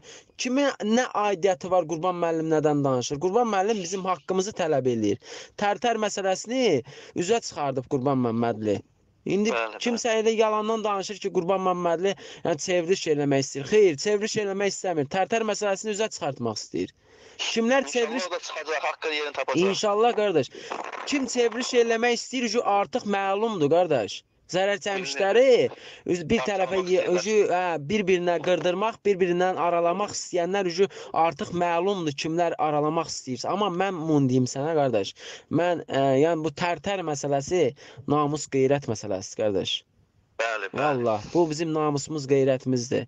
Namusu, qeyrəti olan bu işin üstə düşüb axıra kimi şikayətini eləyib haqqını tələb eləsin qardaş. Hə, İnşallah, nə inşallah. Allahın köməyi Allahın ilə. köməyi ilə hər bir şey yaxşı nə qədər adamı azdırarlar, o tərəfə bu tərəfə parçalayarlar, haqq bu yerin tapmalıdır. Bu işdə belə haqsızlıq ola bilməz. Allah göstəriş verir. Allahın nətə deyirlər, bu Qurban Məmmədliyin əli ilə, yəni bu işin açılmasında bir şey var da, yəni. Nə qədər də parçalasalar bu iş axıra çatacaq Allahın köməyi ilə. İnşallah qardaş, inşallah. Heç əziz qardaşım. İnşallah hər şey yaxşı olar. Sən də ki istirahət elə, danışar Allah qoysa. Özündən murad ilə. Çalışdığın qədər efirə qoşularsan, efirdə də yəni sözlü deyərsən bu haqda da qoy hər kəs bilsin, bütün dünya Azərbaycanlılar bilsin ki, bizim başımıza nə oynasırlar, nə etmək istəyirlər, zərər çəkmişlər, kimlərin əlindən və almaq istəyirlər. İnşallah, inşallah. Heç nə oldu, özündən murad ol qardaş, danışar. Oldu, oldu dedə, oldu. Günün Oldu. xeyrə, özü Xeyr yaxşı ola. bax. Sağ ol qardaş. Ee, Müşfiq bəy, bu siz idiniz, səs sizin səsdirmi? Bu telefon söhbətində olan siz misiniz Nemət Məhrəmlin? Mikrofon açın zəhmət olmasa. Mikrofon.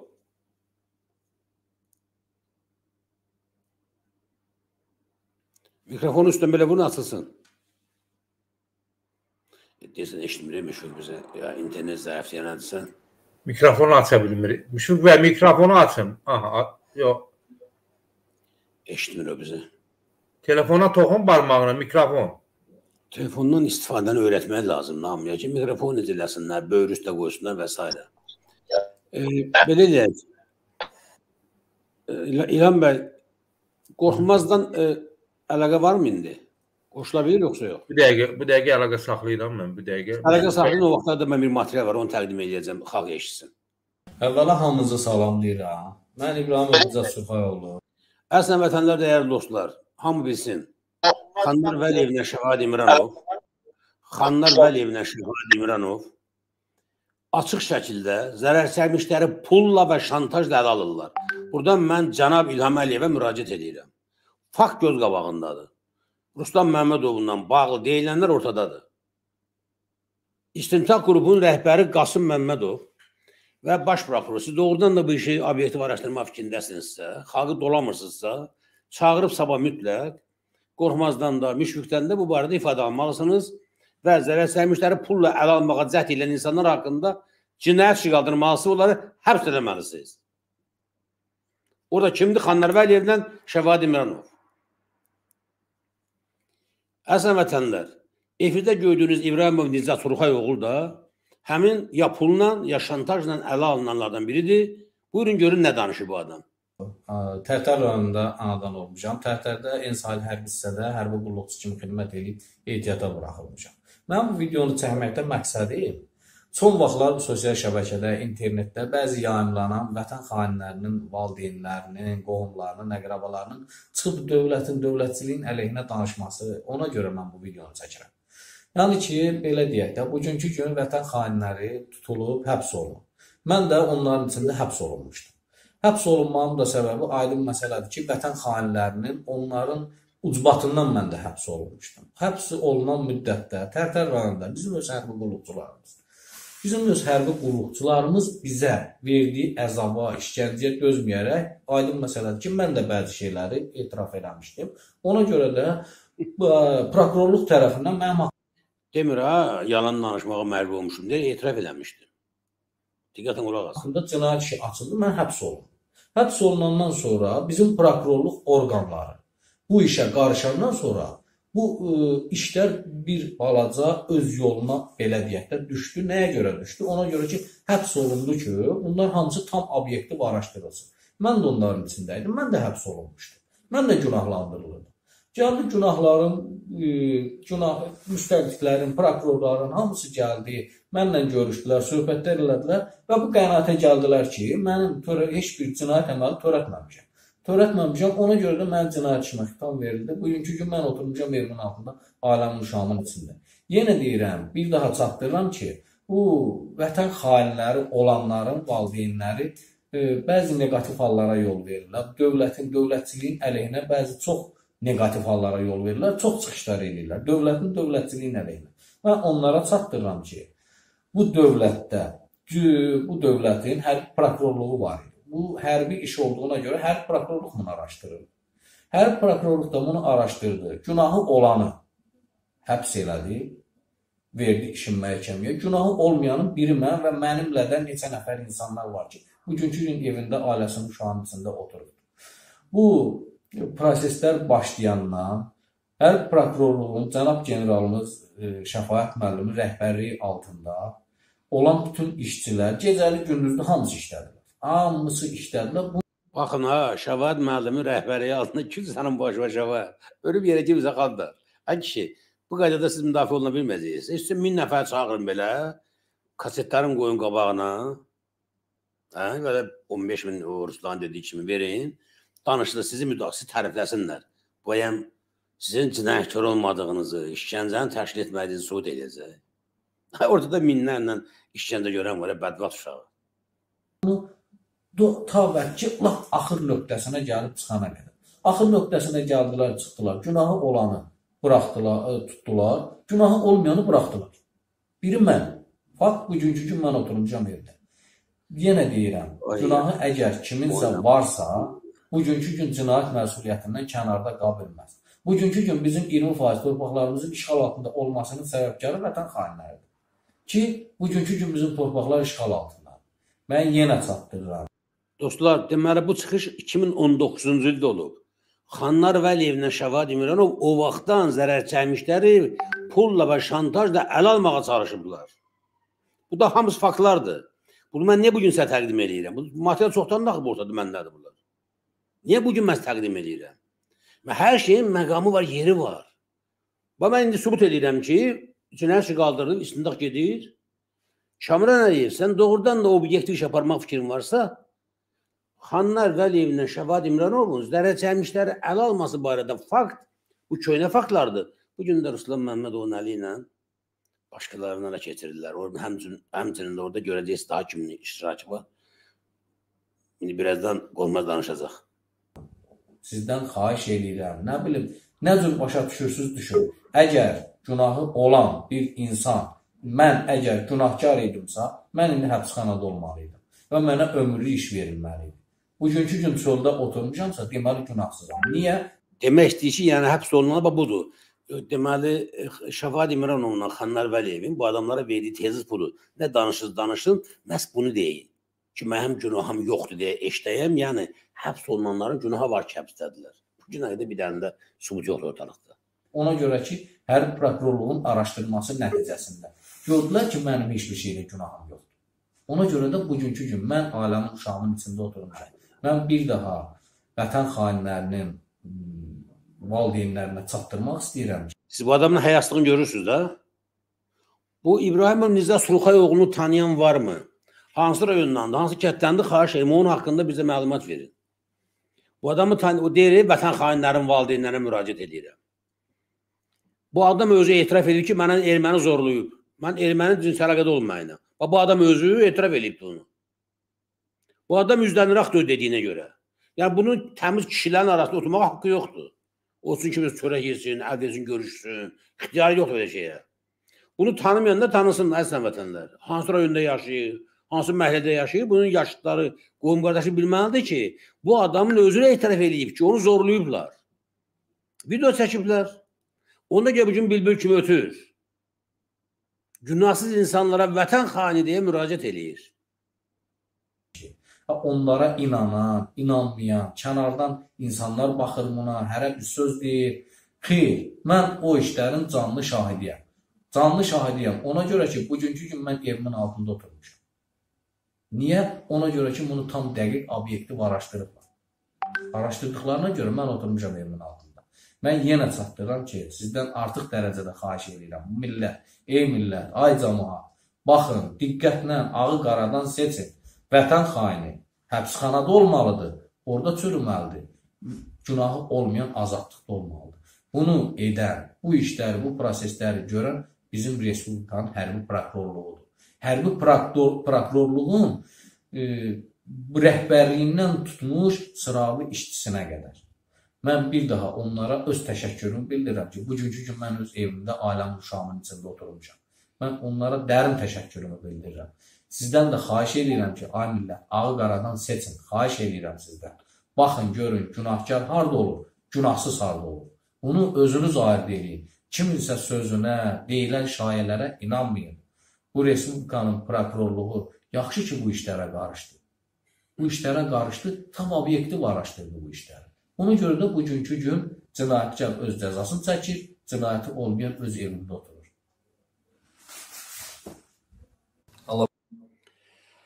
Dostlar, birisi məsələnizədir.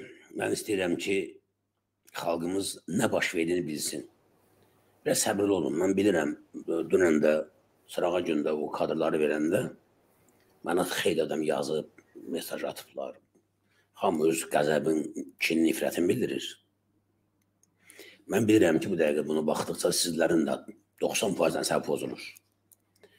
Əsəb pozulmaq cəhənnəmi, bu əsəb pozulmaq elə bir şey deyil. Bu tip hərəkətlər istənilən bir xalqın başına sistemin olaraq gətiriləndə xalq özünün alçaq və şərəfsiz toplum olduğunu qəbul edir, qəbullanır, inanır, ümidsizləşir, öz həm soyuna, həm millətinə ümidsizləşir, etibarsızlaşır, etibarını itirir. Siz görürsünüz də bu adamın sir, sifət, boyun, bığı da var, kişi oxşuyur, danışır. Mən bilirəm ki, bunu dinləyən bu dəqiqə həbsxanada balası olan valideynlər infarkt olur bəlkə də, ölürlər, söyürlər, tüpürürlər. Bəlkə də hamının bu dəqiqə e, televiziyasının ekran tüpürcə ilə doludur. Silin, təmizləyin, amma səbirli olun.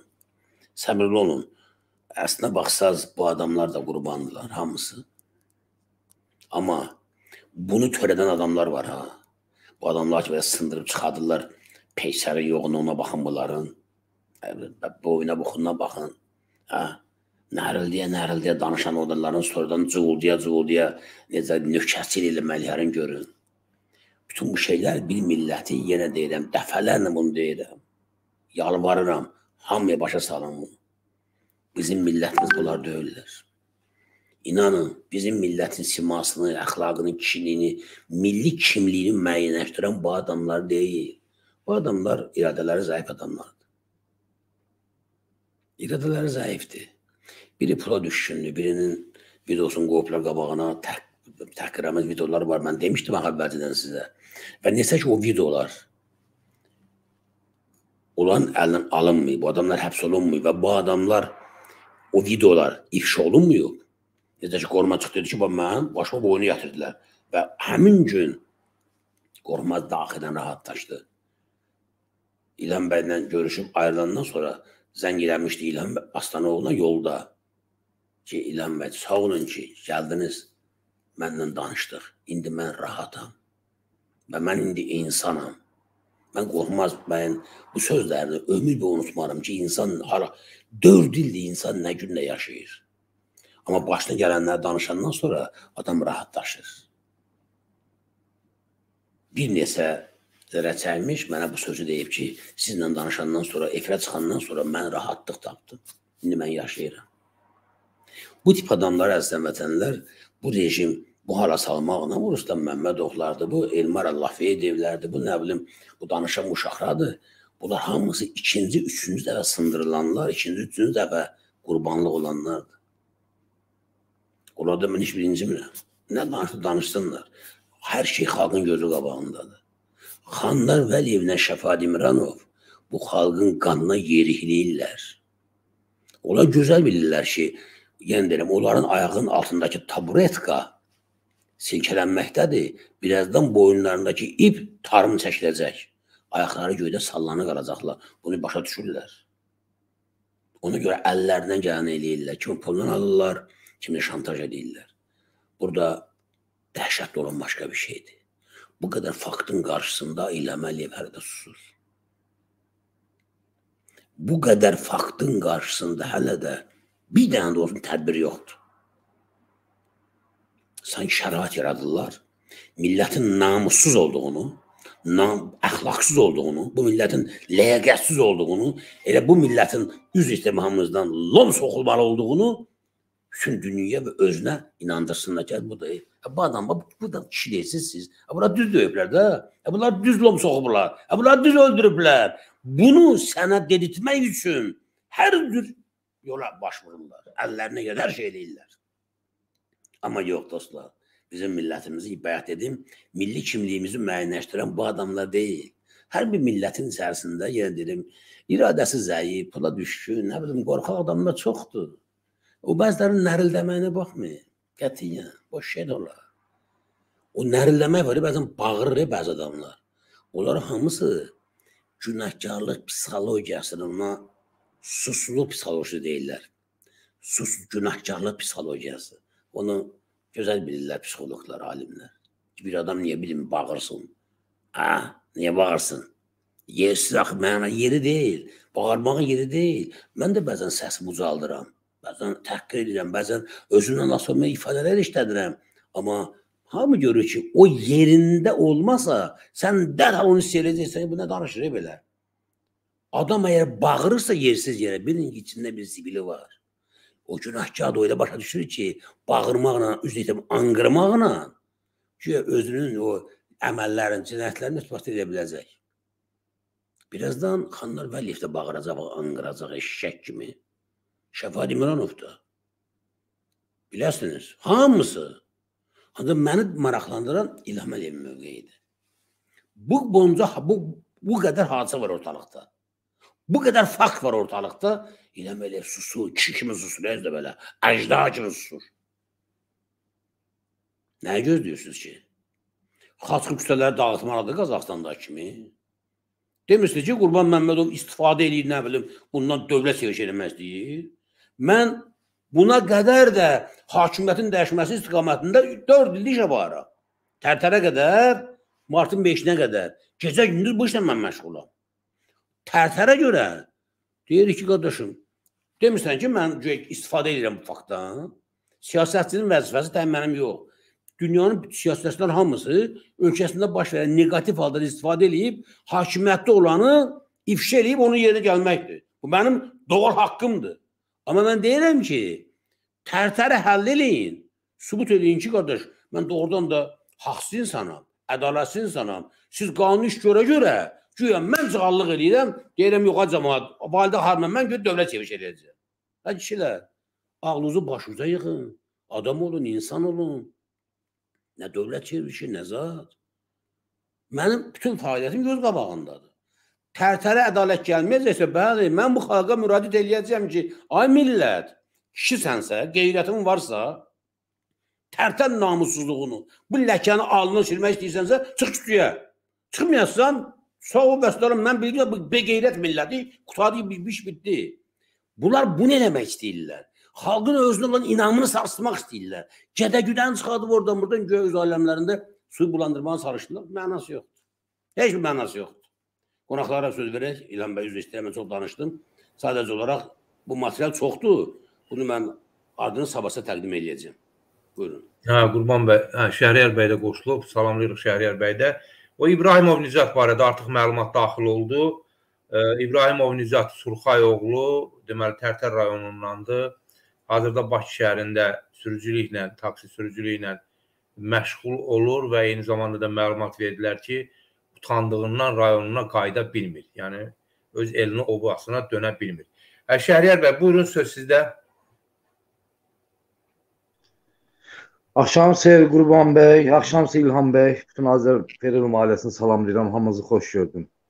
Xoşun olsun oğlum. Mən elə qoşulmaqda İlham bəy, o Müşük müəllim qardaşımız o bayaq orada adımı çəkdi, efirə evdə baxırdıq. Sıraz ona görə qoşuldum ki, biz o 7 dekabrda ora gələndə biz ərizə vermə aksiyasına gələndə orada yəni validə xalanın fəryadı bu hamısı çəkilişdə də bilinir da. İndi mən birinci dəfə idi belə şeyə gedirdim, görürdüm. E, Hicran ananın yanında validə xala Cəmanə Vazilin bunların hamısının yanında olurdum. Yəni metronun qabağında çıxışında düzdür, orada mən gördüm, araldan gördüm ki, qorxmaz orada həmən bu oğlan söhbət eləyirdilər, belə bir neçə nəfər. Hər bir tərəfdə belə-belə çom-çom söhbətlər gedirdi. Ancaq ki, onlar məni o söhbətə kurs eləmədilər, nə də ki, mən də şey eləmə, bilmədim bu söhbət nədən gedirdi. Yaxınlaşdım ki, görüşəm, eləyəm də hamı bir-birini görür ki, birik də bir yerdəyik. Görüşüm bunlardan sevindim ki, zərər çəkmişlər bir yerdəyik burada. Bu da heç belə açıq, heç qorxmaz. Orada söhbət edirdi bunlar hamısı. Heç belə mənə bir, bir, bir, bir maniyə vermədilər. Mən də işte aralda elə salam belə şey elədim da bilmədim orada söhbət nədən gedirdi. Amma indi bu oğlan mənim adım bayaq çəkir, deyir metronun qabağında. İndi mən efirdən baxıram ki, hə, orada söhbət nədən gedirmiş. Pul deyir, nə deyir, nə məsələdir, başım çıxmır. Buna görə mən qoşuldum ki, fikrimi bildirəm. Təşəkkürlər Şəhriyar bəy. Gəlin belə deyək. Bəli. Qorxmaz Qasımovdan əziz həmvətənlər söhbət var. Yəni baş verənlər hamısı video çəkilib. Onu mən sizə təqdim edəcəyəm. Bir baxın diqqətlə. Görün nə baş verir. Aleyküm. Salam aleyküm, axşamınız xeyir olsun. Axşamınız xeyir. Qorxmaz özü də özünü təqdim elə ətraflı. E, mən Qasımov Qorxmaz Əsgərxanoğlu. Söz səndə, buyur. Deməli, mən özüm Bakıda işləyirəm. Bakıda olanda Ruslan Məmmədov var idi. Bu tərtər zərər çəkənlərindən idi. Ruslan Məmmədov Bərdəli. E, onunla elə əlaqə saxladıq, zəng eləmişdi ki, biz dedik, e, dedi yəni görüşməyə. Dedi ki, gələrsiz hərbi prokurorun qabağına. 28-də. Dedi ki, nə gələrik inşallah ora. Mən elə Turalla e, hardasa olar bir bir ay mı deyim, belə olar. Hə, bir ay mı? Bir ay zad olar, səhv eləmirəmsə. E, bir 20 neçə gündə belə deyə bir ay zad. Təxmini yəni ayın e, yəni, tarixini bilmirəm. Yeni istintaq qrupu yaradılan dövrdən sonra da e, ondan e, qabaq deyək, harca Ondan qabaq. Hə? Bəli, ondan qabaq. Hı -hı.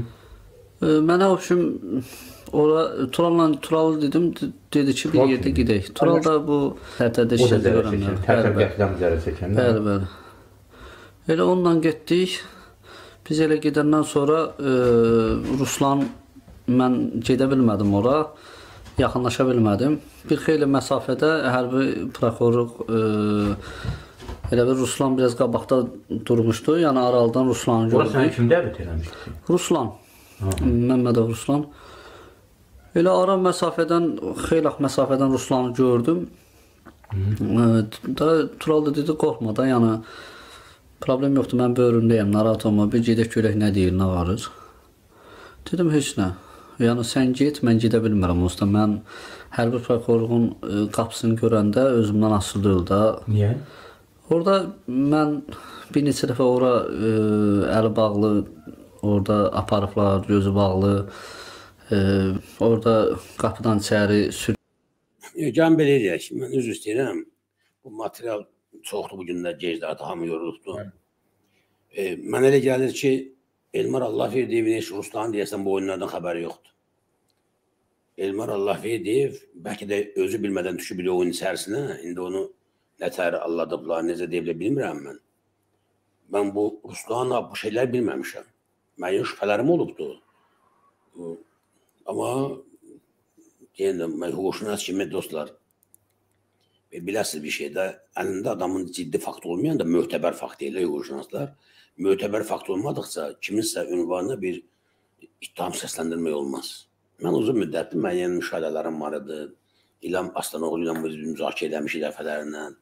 İlham Aslanoğlu qətiyyən inanmayıbdı ki, oğulla belə şey eləməzlər, amma axır başı fakt otağa çıxandan sonra İlham bəy də başqa yolu yoxdur ki. İlham bəy o da saf ürəkli insandır ki, demirəm mənim ürəyim xarabdır. Amma İlham Aslanoğlu insanlara inanmağı sevir də, xoşdur ki, inansın. Yox, ey Ruslan yaxşı oğlandır, Ruslan belə oğlandır, Elmar belə oğlandır, əl Allah canından sağ eləsin. Amma da fakt otağa çıxandan sonra İlham Aslanoğlu deyəcək ki, faktı vurub öl- öldürənsi deyil ki. Məsələ belədir dostlar. Mənim hələlik müşahidələrim budur ki, bu günə qədər olan faktlar, indi mən e, dəqiq bilmirəm bir şey nə deyibdi, e, nədir o, Qorxmaz bəy nə danışıb. Mən elə hesab edirəm ki, deyəsən Elman Allahverdiyev bir oyun içərisində özü də bilmədən. Hər halda bilirəm bizi izləyir buradan. Düşünməyi məsləhət görürəm. Əgər o Ruslanın apardığı bu oyunlardan kimlərin tapşırığını icra eləməyindən xəbəri yoxdursa, vaxtında qərar versə yaxşıdır. Oradan mən deyirəm mən Nicran xanıma da anasına da mən bir Azərbaycan qadını kimi, bir bacı kimi hörmətim var. Amma hiss edirəm ki, hələ də insanlar yanlış yoldadılar. Ana bala hamısı yanlış yoldadır. Amma Ruslanın bu oyunlarından Elmarın xəbəri var yoxsa yox, mən hələ inanmıram. Amma onun əgər aydın olsa ki, Elmarın da xəbəri var, Ruslanın bu apardığı oyunlardan, yəni zərər çəkmişləri çağırsa ona 10 min, 15 min. Bu gün kimlər, əziz vətənlər, Ruslanın və Elmarın yanındadırlarsa, daha doğrusu Elmarın yox, Ruslanın yanındadırlarsa, artıq bu deməkdir ki, məntiqi hamı Allah ağıl adamlarsınız. Bu deməkdir ki, o adamların hamısı pulla 10 min mi, 15 min, 25, 30 min mən bilmərəm. Onu yəqin ki, indiki təzə istində araşdıracaq. Mütləq araşdırmalıdır bu halı. Bu Xanlar Vəliyevin, Şəvad İmranovun əleyhinə olacaq e, tamam yeni bir müstəqil ittihamdır. Bunun adı belədir cinayət məcəlləsində. E, İlhan bəy, siz e, kompüterinizdə imkan varsa, siz tapın cinayət məcəlləsini, onun işi neçə il iş düşür ona. Həmin maddəni mənə vermişdilər. Zərər çəkmişin pulla əl alma.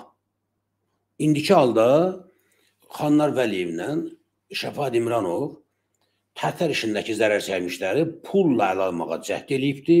Bu artıq subutdur, faktdır.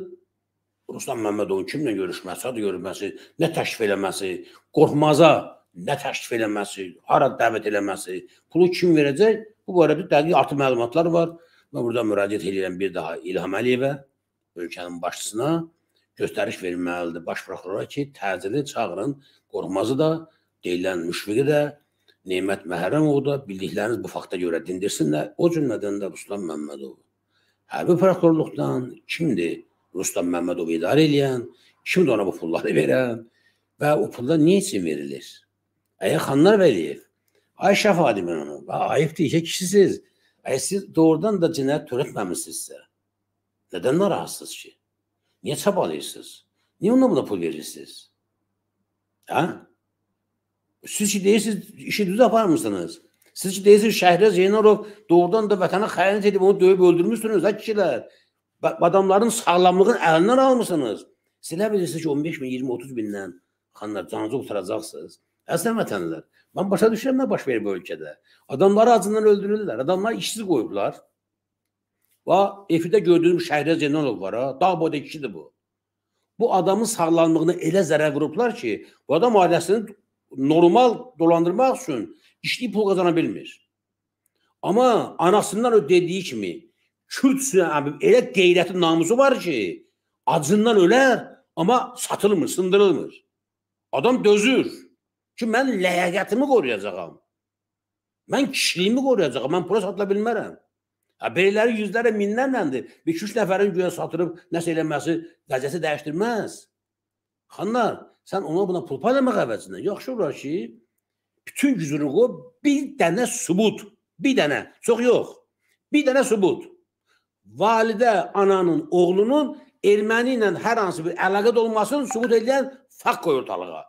Video görüntü, səs yazısı, nə bilim, mesaj, telefon səsi və s. və s. erməniyə casusluq edilməsi ilə bağlı, dövlətə xəyanət edilməsi ilə bağlı. Bu da pul xərcləyirsən ki, sonra pullar sağlı, pullar lazım olacaq. O pullar şəhriyyərə ödənməlidir. O pullar ödənməlidir neymətə, o pullar ödənməlidir başqa zərərsəymişlərə, amma 15 min, 20 min yox. Ən azı 1 milyon 500 min mən hesablamışam. Bunların hər birinin əmək haqqı, əgər sən işdən çıxartdırmasaydın bunları, bunlara işgəncə verib yarımcan eləməsəydin, bunlar pensiyaya qədər işləyəcəkdilər, ayda aldıqları maaş alacaqdılar. O maaşı sən hesabla, indidən ödə hamısını. Plus üstünə gəl bunun mənəvi ziyanı var bilirsən də, özün huşunasdan, yarımçıq olsan da huşunasdan, səndə şəfaət də. Həm də mənəvi ziyan var. Anasının övladına görə çəkdiyi mənəvi əzab və istiraflara görə aniyə yarım milyon. Həyat yoldaşının yoldaşına görə çəkdiyi əzab işgəncəyə görə yarım milyon. Övladlarının məktəbdə sən xain balasısan, vətən xaini olursan deyə gözüm çıxdıya salınmalarına görə yarım milyon. Mənəvici öləməlisən. Təbii ki, sənə ləyaqətin varsa, sənin kişiliyin varsa, sizdə namus varsa, bunu eləməlisiniz. Bunu eləyin, ödəyin cəmaatın pulun layiq olduğu kimi. Və burada mən sizə deyirəm, pullarını ödəyin, statuslarını verin, şəhid statuslarını. Həbs olunanları buraxın. Səni həbs eləmək eləməli özü bilər. Eləmir, eləməsin. Yaşayın ki, davam, davam eləyin. İşlər, gör, işinizi görün. Yenə hər prokuror kimi işi gör. Rüşvəti al, şərlət, oğul. Amma tərtər işində bu zərərsəymişlərin hüquqları bərpa olunmalıdır. Sənin tutulmamağın, cəzalanmağın bu artıq dövlətin işidir. Dedim, bu dövlətin işidir. Sən tutar tutmaz, eləməli özü bilər.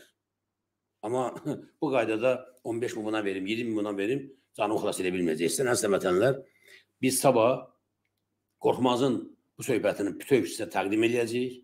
Mən hamını sabah saat 21:00-da efirdə olmağa çağırıram. Bütün Azərbaycan dünyadakı Azərbaycana xəbər verin ki, bu ölkə nə vəziyyətdədir, kimlərin əlindədir, necə əxlaqsız adamlar tərəfindən idarə olunur? Və bu günləri Xanlar Vəliyevlə Şifadə İmranov hansı metodlarla can qurtarmaq istəyirlər? Və bu ruslanların, ermənilərin, başqalarının ikinci, üçüncü dəfə belə sındırılmasının, belə alçaldılmasının əsl səbəbkarları kimlərdir? Və onların cəzası nədir? Sabah deyəcək bu barədə. İlhan bəy, mən bitirdim sözümü. Təşəkkür edirəm Qurban bəy, amma bir tərtərli soydaşımız Rusiyadan zəng eləyibdi. Bayaqdan gördüm. Onu dinləyək. Buyurun efirdəsiniz. Zəif varsa dinləyək. Axşamınız xeyir. Axşamınız xeyir. Axşamınız xeyir. Hamınızı salamlayıram.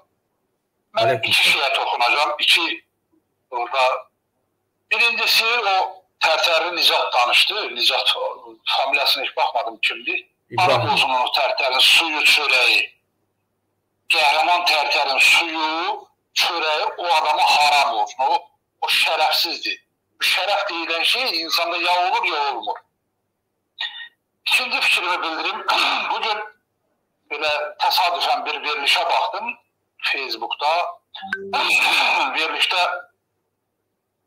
e, bizim o adı çəkilən nə deyim onlara, nə bilim, dilim gəlmir nəsə deyəm. Nəsə iştirak edən bizim o köhnə iş, iştirakçılardan vardı, iştirak edirlər orada. Orada aparıcıya bir iki sualım var idi. Bu, bu aparıcı demək istəmirəm. Yəni Azərbaycanlı kimi ona baxmıram. Deyəcəm, ona üzrlü hesab, üzrlü hesab edeyim məni. Gədə deyəcəm, o gədiyə sualım var. o kimdir ki məni və məni kimi Rusiyada, xaricdə yaşayanları bədbaxt adlandırır. Bu bir. Bu bədbaxt onun özüdür. Mən nəslin nəzamətini, yəni kişi hamı söz söyə bilirik. Amma şəxsiyyətindən qırağa çıxmayacağım ki, onun şəxsiyyəti yoxdur. Qıraqdakıların heç bir günahı yoxdur. Onlara mən bu telefonda ya monitor arxasında heç nə demirəm. Üzə gəlir isə hər bir sözünü deyə bilərəm. Ona ixtiyarım çatır. Çünki o mənim qoyun adlandırıbdır. Millətimi qoyun adlandırıb.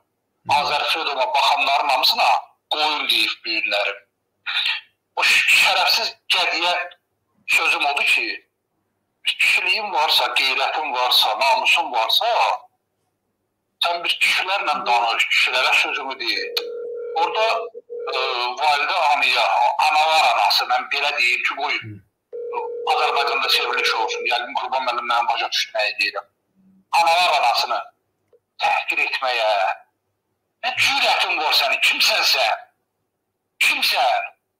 Ona Neymət Bəyək dedi ki, kimdir ki, ona mən cavab verim onun sualına? Mən, o dedi ki, mən Neyməti indi başa salaram. Sənin başa salmağa başım çatmaz. Gədə. Əgər sözün varsa, mənim nömrəm İlham Aslanoglu'da var. Al, səni başa salım mən, sən kimsən. Aydındır. Xahiş edirəm, xahiş edirəm, elə şeyləri cavabsız qoymuyorum. Çünki belə gədələr yerini bilməlidir, öz yerlərini bilməlidir. Oldu İlqar bəy, oldu. Çox sağ olun, minnətdaram hamınıza. Siz sağ olun, sağ olun, sağ olun. Üzr istəyirəm, deməli Rə Məhrəməd Rəcəbli mənə zəng eləyib indi. Bayaq danışanda qardaş zəng eləmişdi. Bir də qoşaq sözünü desin. Bayaq efirə verdiyimiz saylandan. Evet.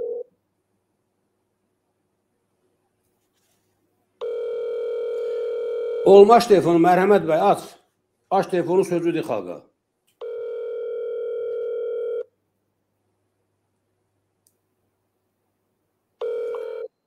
Nəsə götürmür deyəsən, açmır telefonu. Bayaqları deməli danışanda zəng eləmişdi. Yazdı ki, Rəcəbli mərhəmətdir, götürür, yığın, işləyən.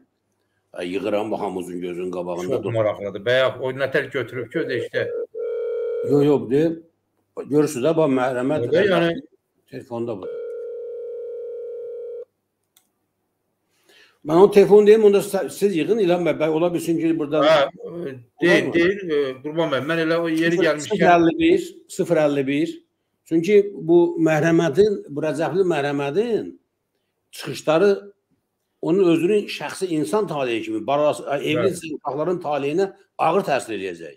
051 Adam açsın desin görək niyə onu bu hala salan kimdir? Onun kim və nə, hansı üsulla məcbur eləyibdi ki, bax belə bir hərəkət eləsin. Bəli. 051 Hı -hı. 407 Bəli. 98 52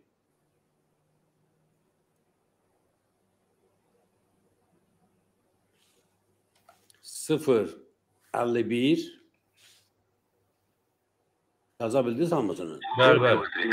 Приказываю организовать круговую оборону.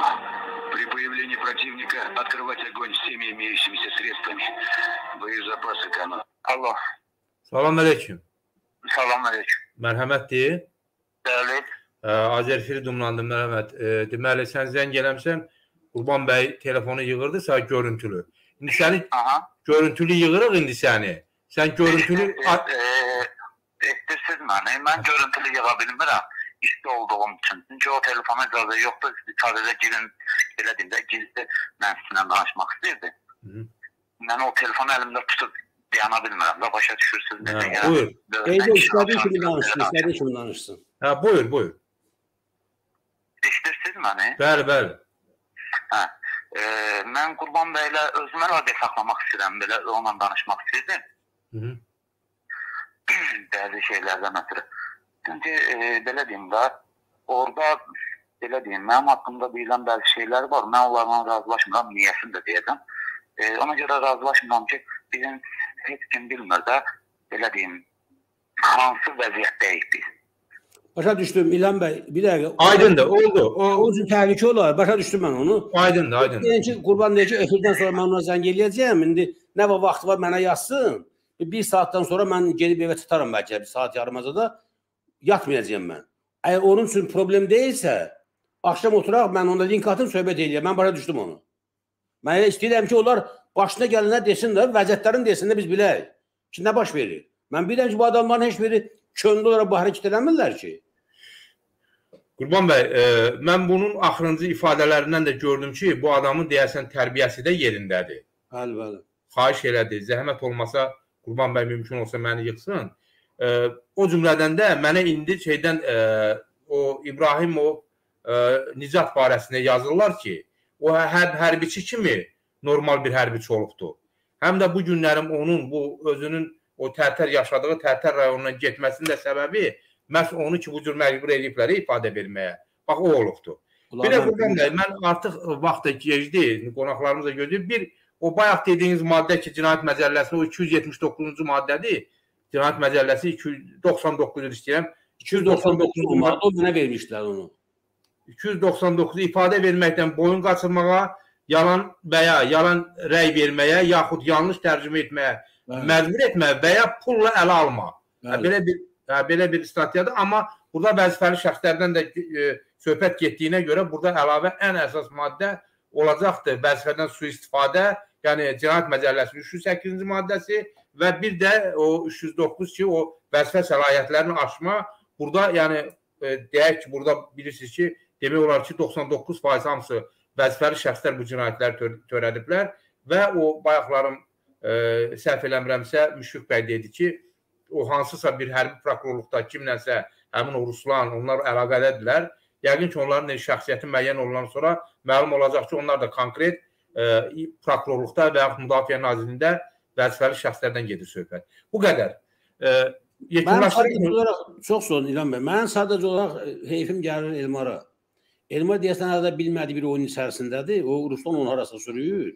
O sabah nəsə araşdıraq bu şeyləri. İndi qoluma danışa görə nə var, nə yox. Aha, e, Mehman bəy, buyurun son fikirlərinizi söyləyin. Artıq gecdir. Biz efirimizi Sabah davam edək. Sabah indi çox gecdir. Ham yorulub. Hə, çox gecdir. Hə, oldu. Mehman bəy, əgər belə vacib deyəcəyiniz yoxsa biz efiri yekunlaşdıraq Müşfiq bəy. E, İlham bəy, Qurban bəy, qoy bir buyurun, buyurun, buyurun. Mənim hər baş prokurorluqdan tələbim budur ki, bu istintaqa QHT adlanan təşkilat da daxil olunsun. Yəni ki, buraxılsın ki, istintaqın gedişi ilə o həmin təşkilat da necə öz sözünü desin. Hansı təşkilat? Hansı təşkilat? Qeyri-dövlət təşkilatı ilə yəqin ki, gedir söhbət. Qeyri-dövlət təşkilatı. Bu istintaqda iştirak eləsinlər. İstintaqda iştirak eləsinlər. Eləyə bilməz. Əvvəl bu şeyi siz biz bizlə soruşun, məsləhətləşin. Elə belə hər deyilənə uyub deyə 4 il küstələrdəsiniz. Belə düşünürsünüz? Bəli, bəli. Əvvəl soruşun ki, bu QHT nə olan şeydir? Bu istintaqa gələ bilə, gələ bilməz ondan sonra. Məsələn demişəm axı mən. Yəni mən öz tələbimi etdim də Qurban bəy. Öz tələbimi irəli sürdüm. Tələbiniz qanunsuz əsaslı çox ziyanlı tələbdir. Sonra mən deyəcəm sizə. Sonra söhbət eləyərik. İnşallah. Təşəkkürlər, sağ olun. Allah razı olsun. Hə, biz təşəkkür edirik. Əziz həmvətənlərim, gəldik növbəti bir efirimizin sonuna çatdıq. Hər birinizə mən minnətdaram ki, sona qədər dayandınız, izlədiniz. Amma sabah inşallah təbii ki, Bakı vaxtı ilə saat 21:00-da xüsusilə hazırlaşın ki, sabah bizim efirimizdə həqiqətən də son dərəcə ciddi bir mövzu müzakirə olunacaq. Sizə dəhşətli faktlar təqdim olunacaqdır. Təbii ki, biz e, Qurban bəy o bir deməli Qorxmazın nə danışacağından yəqin ki, hələ ki məlumatı yoxdur, amma mən o Buradan üzr istəyirəm İlhan bəy. İl, Elmar Allahverdiyevə də müraciət edirəm, sabah hazırlaşsın. Dəvət edəcəm. Eşdiyi faktlarla bağlı istəyirəm fikrini desin. Olur, olur. Allah belə necə deyim, o obyektiv və demokratik bir ə, e, məsələ olar ki, biz onu da Mənim telefonumu deyib blokdan çıxarsın, mənə bloklu ora zəng edə bilmirəm. Telefonu blokdan çıxarsın ki, sabah deməsin ki, hara zəng eləyirsən. Elmar, Telefonumu aç, sabah hazırlaş. Mən istəyirəm sabah sən eşitdiyin faktlarla bağlı fikri deyəsən ki, sən bu şeyləri bilirdin ya bilmirdin? Rusların bu elədiyi şeyləri. Təşəkkürlər. Yəqin ki, təşəkkür edirəm. Yəqin ki, Elmar bəy də ə, blokdan çıxardar, eşitdi. Mən yəqin ki, ən azından Elmar bəy mənim ona olan etimadımı bu bütün xalqımın qarşısında doğruldacaqdır. İnşallah. Əziz həmvətənlərim, sabah saat 21:00-da təbii ki, Bakı vaxtı ilə bax bu doğma efirimizdə sizin görüşünüzə gələcəyik. Sağ olun, gecəniz xeyrə qalsın. İnşallah görüşərik. Sağ olun. Sağ olun, bizdə xeyrə qalsın, var olun.